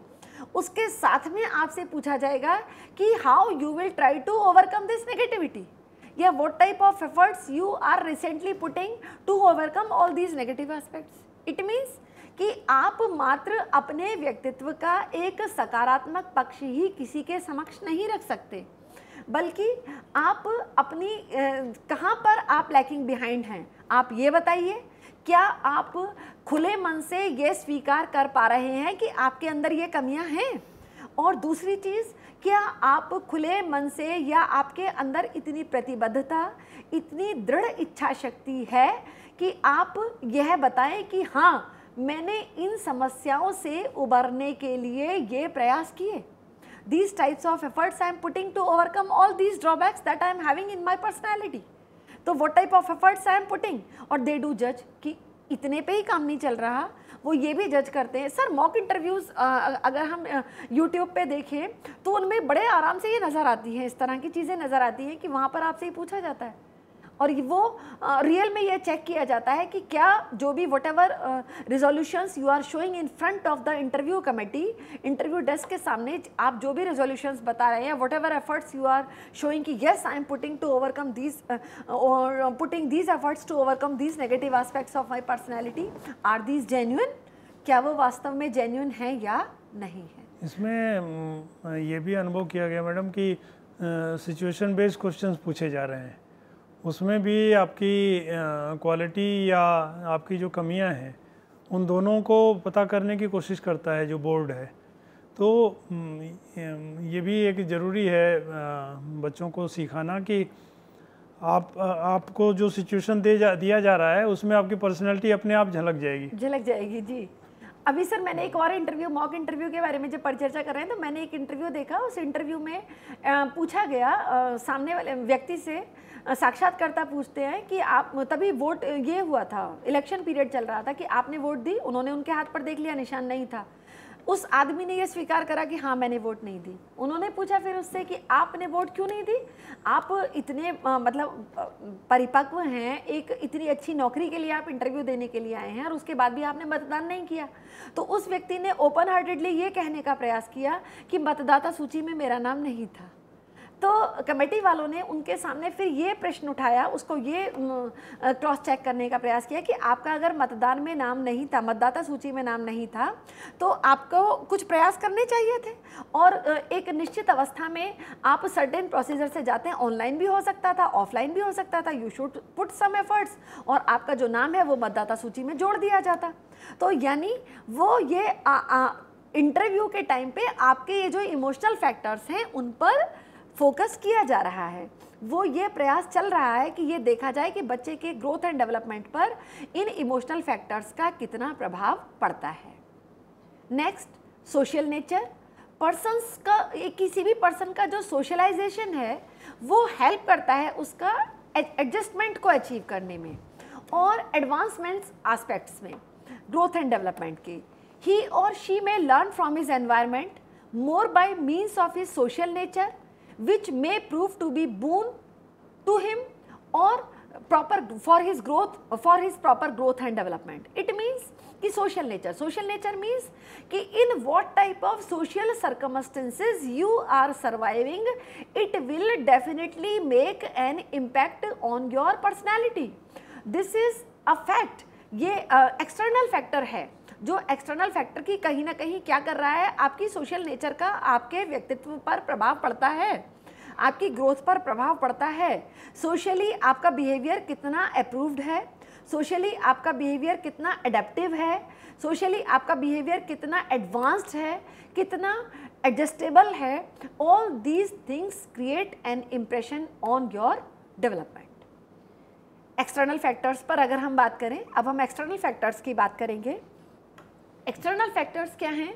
वो फैक्टर्स हैं which are lying outside the individual in his environment and are set to be external factors influencing his growth and development environment in the womb of the mother. सबसे पहला, अभी हम बात करके चुके थे कि ग्रोथ एंड डेवलपमेंट जो है it is a process growth development का जो प्रोसेस है, वो चलता है फ्रॉम वॉम टू टॉम्ब यानी तब से जब की माँ गर्भवती होती है तब से, और तब तक जब तक कि आपकी मृत्यु होती है तब तक।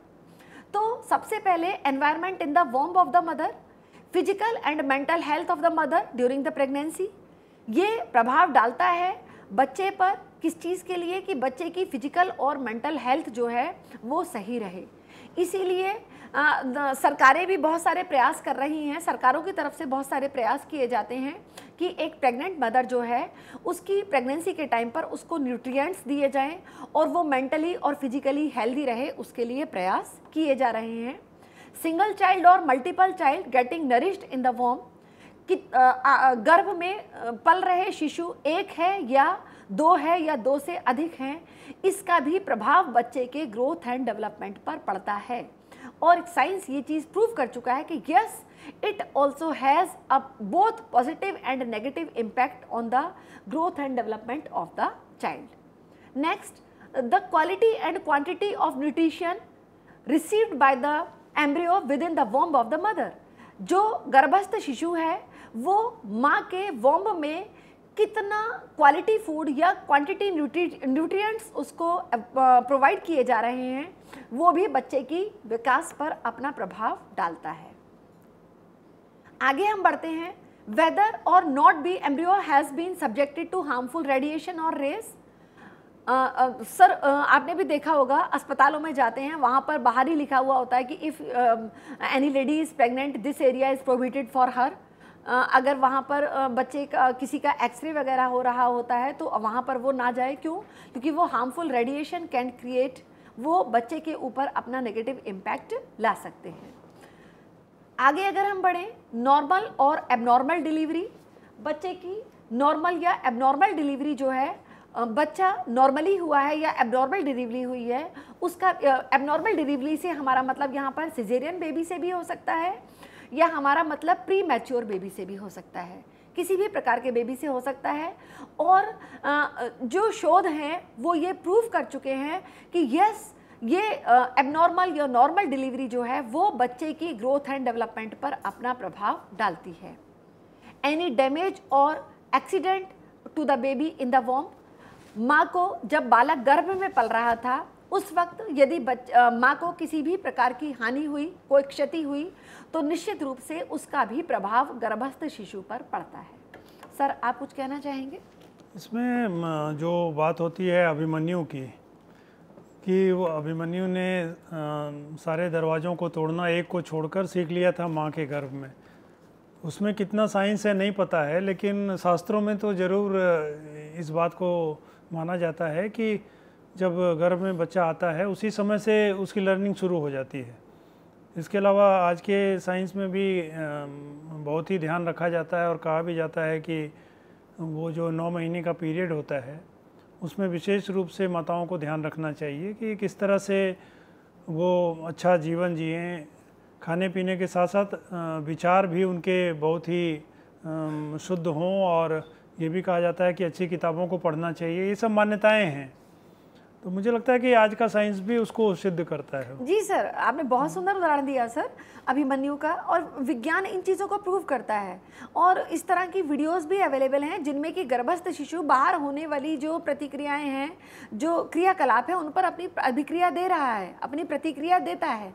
तो इसका तात्पर्य है कि गर्भस्थ शिशु पर बाह्य वातावरण का निश्चित रूप से या तो सकारात्मक या तो नकारात्मक असर पड़ता है और इसीलिए प्रयास करना चाहिए कि गर्भवती माँ को हम एक अच्छा माहौल दें, ताकि आने वाला जो बच्चा है वो एक स्वस्थ बच्चा हो और वो स्वस्थ बच्चा देश के लिए, राष्ट्र के लिए अपना सकारात्मक योगदान दे। आगे हम बात करते हैं environmental scenario available after birth क्या एनवायरनमेंट है उसको जो कि बर्थ के बाद में उसको मिल रहा है? इसका तात्पर्य है कि हमारे जीवन में होने वाली या तो अच्छी या तो खराब जो घटनाएँ हैं, वो कहीं ना कहीं प्रभाव डालती हैं हमारे ग्रोथ एंड डेवलपमेंट पर। कोई भी एक्सीडेंट होता है, उसमें हाथ या पैर गंवा देना या कि और किसी प्रकार की कोई शारीरिक क्षति हो जाना या नर्वस सिस्टम का डैमेज हो जाना, ये सब चीज़ें प्रभाव डालती हैं हमारे प्रभाव, हमारे शारीरिक अभिवृद्धि पर। और अगर बालक के साथ कोई कुछ इस तरह की नकारात्मक घटना घटती है तो निश्चित रूप से उसका प्रभाव दूरगामी होता है। और ये दूरगामी प्रभाव उसके विकास की अवस्थाओं पर अपना निश्चित रूप से प्रभाव डालता है। और ना केवल ये तो हमने बात की किसी घटना की। अगर हम बात करें कि बालक के साथ में अगर इमोशनली किसी प्रकार का कोई इंसिडेंट हुआ होता है तो उस इंसिडेंट का भी बच्चे के सोशल इमोशनल मोरल और फ़िज़िकल सारे स्पीयर्स पर अपना प्रभाव पड़ता है। कोई भी घटना और कई बार इस तरह की भी घटनाएँ होती हैं कि एक शिक्षक होने के नाते हमारा ये दायित्व बनता है कि कोई बच्चा अगर बहुत गुमसुम रहता है तो हम ध्यान दें कि उसके शांत होने का अचानक कोई बच्चा बहुत अच्छा चल रहा था, सब कुछ अच्छा चल रहा था और अचानक वो चुप हो गया है तो उसके चुप होने के पीछे के कारणों को हम जानें। एक माता पिता होने के नाते if any kind of behavioural changes are there in child तो we have to focus over those and we should try we should first of all हमें उसके साथ, बच्चे के साथ में इतना फ्रेंडली होना है। और फ्रेंडली होने के साथ साथ हमें ये देखना है कि बच्चा जो है, वो क्या अपनी जो चीज़ें हैं, उनको हमारे साथ शेयर कर पा रहा है? उसके लिए एक माता पिता होने के नाते भी, एक काउंसलर होने के नाते, एक शिक्षक होने के नाते हम सभी को अपनी भूमिकाओं का निर्वहन करना पड़ेगा। ताकि बच्चे के अंदर आने वाले सडन बिहेवियरल चेंजेस जो हैं may recognise those changes and whatever remedial programme may be provided for the child we can provide those remedial programmes to the child quality of physical uh, uh, environment medical care and nourishment. Are you agreed with this sir? कि बच्चे को जो medical care दी जाती है या जो उसका नरिशमेंट किया जाता है या जो फ़िज़िकल एनवायरनमेंट दिया जाता है उसका बच्चे की जो विकास है उस पर प्रभाव पड़ता है? जी बहुत ज़रूरी है। जैसे सामान्य तौर पर पालन पोषण कैसे करना चाहिए, इसके लिए भी बहुत ध्यान रखने की ज़रूरत है। कई बार हमने देखा कि जैसे टीकाकरण होता है। टीकाकरण का अगर सही तरह से प्रयोग नहीं किया गया कई लोग लापरवाही करते हैं उसमें तो उसके क्या दुष्परिणाम हो सकते हैं, वो हम सब जानते हैं। तो मतलब संतानोत्पत्ति के बाद भी जो बाद का केयर है मेडिकल ट्रीटमेंट है इन्फेक्शन से बचाना तो छोटे बच्चे होते हैं तरह तरह के इन्फेक्शन उनको समाज से लगता रहता है। तो उन सबसे कौन बचाएगा आखिर? मदर मदर को ही ध्यान रखना होगा उनको जानना होगा कि अ, किस समय क्या करना चाहिए। कई बार अ, इस तरह से मज़ाक में आ, आता है कि किसी बहू ने नवजात शिशु को जन्म दिया तो छोटे बच्चे को सर्दी जुकाम भी हुआ तो उसको पता नहीं है वो अपनी सासू माँ को फ़ोन कर रही है कि ऐसे समय में क्या करना चाहिए। वीडियो कॉल करके दिखा रही है बच्चे को कि बच्चा, बच्चे को ये प्रॉब्लम हो रही है तो क्या करना चाहिए? ऐसी भी स्थिति आ गई है। शायद हम बहुत सी जानकारियाँ जो हमें अपने आप मिल जाती थी परिवार से, उससे भी दूर हो रहे हैं तो हमें जानना चाहिए उसके बारे में। एक माता पिता होने के नाते भी और एक अध्यापक होने के नाते भी। हम ये जानने का प्रयास करें कि इन सब चीज़ों का क्या प्रभाव पड़ता है और इसके विषय में जैसे कि आपने कहा सर जानकारी होना अति आवश्यक है एक अध्यापक के लिए। स्कूल में हम मान लीजिए कि किसी बच्चे को चोट लगती है। अब टीचर को पता ही नहीं क्या करना है। फ़र्स्ट एड के बारे में तो जानकारी होनी चाहिए। तो कई बार मुश्किलें ज़्यादा हो जाती हैं उसकी वजह से। सर बच्चों के जैसे कि सर अभी की अगर हम घटना की बात करें गुजरात में जो घटना हुई उसके बारे में बाद में आ रहा है कि आप हम दरअसल क्या है कि हम लाइफ स्किल्स बच्चे को सिखा ही नहीं पाते। रियलिटी ये है कि एक कोचिंग संस्थान में अगर आग लगी और बच्चे वहाँ से जंप कर रहे हैं तो अगर हम क्यों ना हम जो हमारे आसपास ये सब परिस्थितियाँ बन रही हैं हम उनसे कुछ सीखें। लेकिन ये सब चीज़ें क्या होती हैं, ये मैसेजेस फ्लोट होते हैं और बाद में इनका निश्चित रूप से हम पर प्रभाव पड़ता है। लेकिन क्यों ना ये लाइफ स्किल्स हम एट द इनिशियल स्टेज बच्चे को सिखाएँ। हम ये सिखाएँ कि अगर तौलिया लग कि हम ये सिखाएँ कि धुआँ जो है वो ऊपर की ओर उड़ता है। अगर आप क्रॉल करेंगे तो यू कैन गो आउटसाइड आप बाहर भी जा सकते हैं। या इमरजेंसी एग्जिट से निकलना बच्चे को सिखाएँ। या इस तरह के इक्विपमेंट्स इंस्टॉल किए जाएँ हाई राइज टावर्स में जिनमें कि एक पाइप के सहारे बच्चा नीचे आ सकता है। सर इस तरह की भी वीडियोस आपने भी शायद देखी होंगी सोशल मीडिया पर बहुत फ्लोट हुई थी। तो हम क्या कर रहे हैं? हमारा पर्पस है कि हम जो अभी आप कह के चुके हैं कि एकेडमिकली हमारा जो बालक है वो साउंड होना चाहिए। हम उसे लाइफ स्किल्स नहीं सिखा रहे हैं। अब सिंपली देखिए लिफ्ट में अगर कोई फंसा हो तो कैसे बचाव करना चाहिए? हम कभी नहीं पढ़ाते किसी को। उसी तरह से भूकंप में भूकंप के बारे में आजकल तो जानकारी मिल रही है जगह हम जगह। मॉक ड्रिल्स करा रहे हैं हाँ। स्कूल्स या ये जो एक्सटिंग हैं फायर एक्सटिंग उसका यूज़ कैसे करें? इसको तो बताना ही चाहिए हमें क्योंकि वो हमारे जीवन से जुड़ा हुआ है। जीवन से जुड़ी हुई चीज़ें। या सर एक चीज़ और खाली हम यही ना सिखाएँ लाइफ स्किल्स का मतलब यही नहीं है कि हम परिस्थिति में फंसे हुए व्यक्ति को ही ये सिखाएँ बल्कि एक मानव होने के नाते किसी भी घटना पर हमारी प्रतिक्रिया क्या होनी चाहिए? कि क्या हम वहाँ पर उन बच्चों के को पकड़ने के लिए त्वरित कोई प्रतिक्रिया कर पा रहे हैं या नहीं कर पा रहे हैं? या मात्र हम केवल हम वीडियो बनाने में लगे हुए हैं और हम ये चाहते हैं कि किसी तरह से हम उस वीडियो को अपलोड कर दें? तो ये चीज़ है ये घटनाएँ भी हमें कहीं ना कहीं कुछ सिखाती हैं और इनका प्रभाव हमारे बच्चे के ग्रोथ एंड डेवलपमेंट पर पड़ता है। लेकिन स्थितियों में धैर्य बनाए रखना भी हमें अपने बच्चे को सिखाना है। आगे एक और पॉइंट है वो है सोशल एंड कल्चरल एनवायरनमेंट इसका भी बच्चे पर प्रभाव पड़ता है। पेरेंटल और फैमिली केयर बच्चे को जो दी जाती है उसका प्रभाव पड़ता है। इकोनॉमिक और सोशल स्टेटस बच्चे के परिवार का और पेरेंट्स का इसका भी बच्चे के विकास और अभिवृद्धि पर प्रभाव पड़ता है। क्वालिटी, नेबरहुड की और सराउंडिंग एनवायरनमेंट, यह भी अपना प्रभाव डालते हैं। स्कूलिंग, जो रिसीव करता है बच्चा, उसका प्रभाव पड़ता है। पीयर ग्रुप या रिलेशनशिप या वो कंपनी जिसमें कि बच्चा रहता है, उसका प्रभाव पड़ता है। Quality, education and vocational facilities and opportunities जो कि बच्चे को दी जाएँ, वो भी प्रभाव डालती हैं बालक की अभिवृद्धि एवं विकास पर। पावर एंड स्टेटस जो कि कंट्री इंजॉय करता है, जहाँ के बालक, जहाँ को बिलोंग करता है, इसका भी प्रभाव पड़ता है। Quality of government law organisation or to society to which a child belongs यह भी प्रभाव डालता है। तो कुल मिला के सर, मात्र ये नहीं है कि आप का जो प्रभाव पड़ रहा है बच्चे की अभिवृद्धि एवं विकास पर, वो केवल एक माता पिता की इकोनॉमिक कंडीशन का या उस विद्यालयी परिवेश का पड़ रहा है। बल्कि बालक जिस समाज में, जिस देश में, जिस सांस्कृतिक पृष्ठभूमि को वो बिलोंग करता है, वो सारी चीज़ें भी बच्चे के जो ग्रोथ एंड डेवलपमेंट है उस पर अपना प्रभाव डालते हैं। इसको हम क्लासरूम टीचिंग में भी देख सकते हैं कि जब एक क्लास में 40 बच्चे होते हैं तो शिक्षक का भाव क्या रहता है वहाँ? शिक्षक किस तरह से रिएक्ट करते हैं बच्चों के प्रति? क्योंकि हमारा समाज जो है, वो विविधता से भरा हुआ है। जैसे अभी हमने देखा कि जाति, धर्म, लिंग, बहुत सारे ऐसे मानदंड हैं जिस पे हमारा समाज विभाजित है। तो उसमें सामंजस्य कैसे बिठाएँ? ये शिक्षक का बहुत बड़ा दायित्व तो है।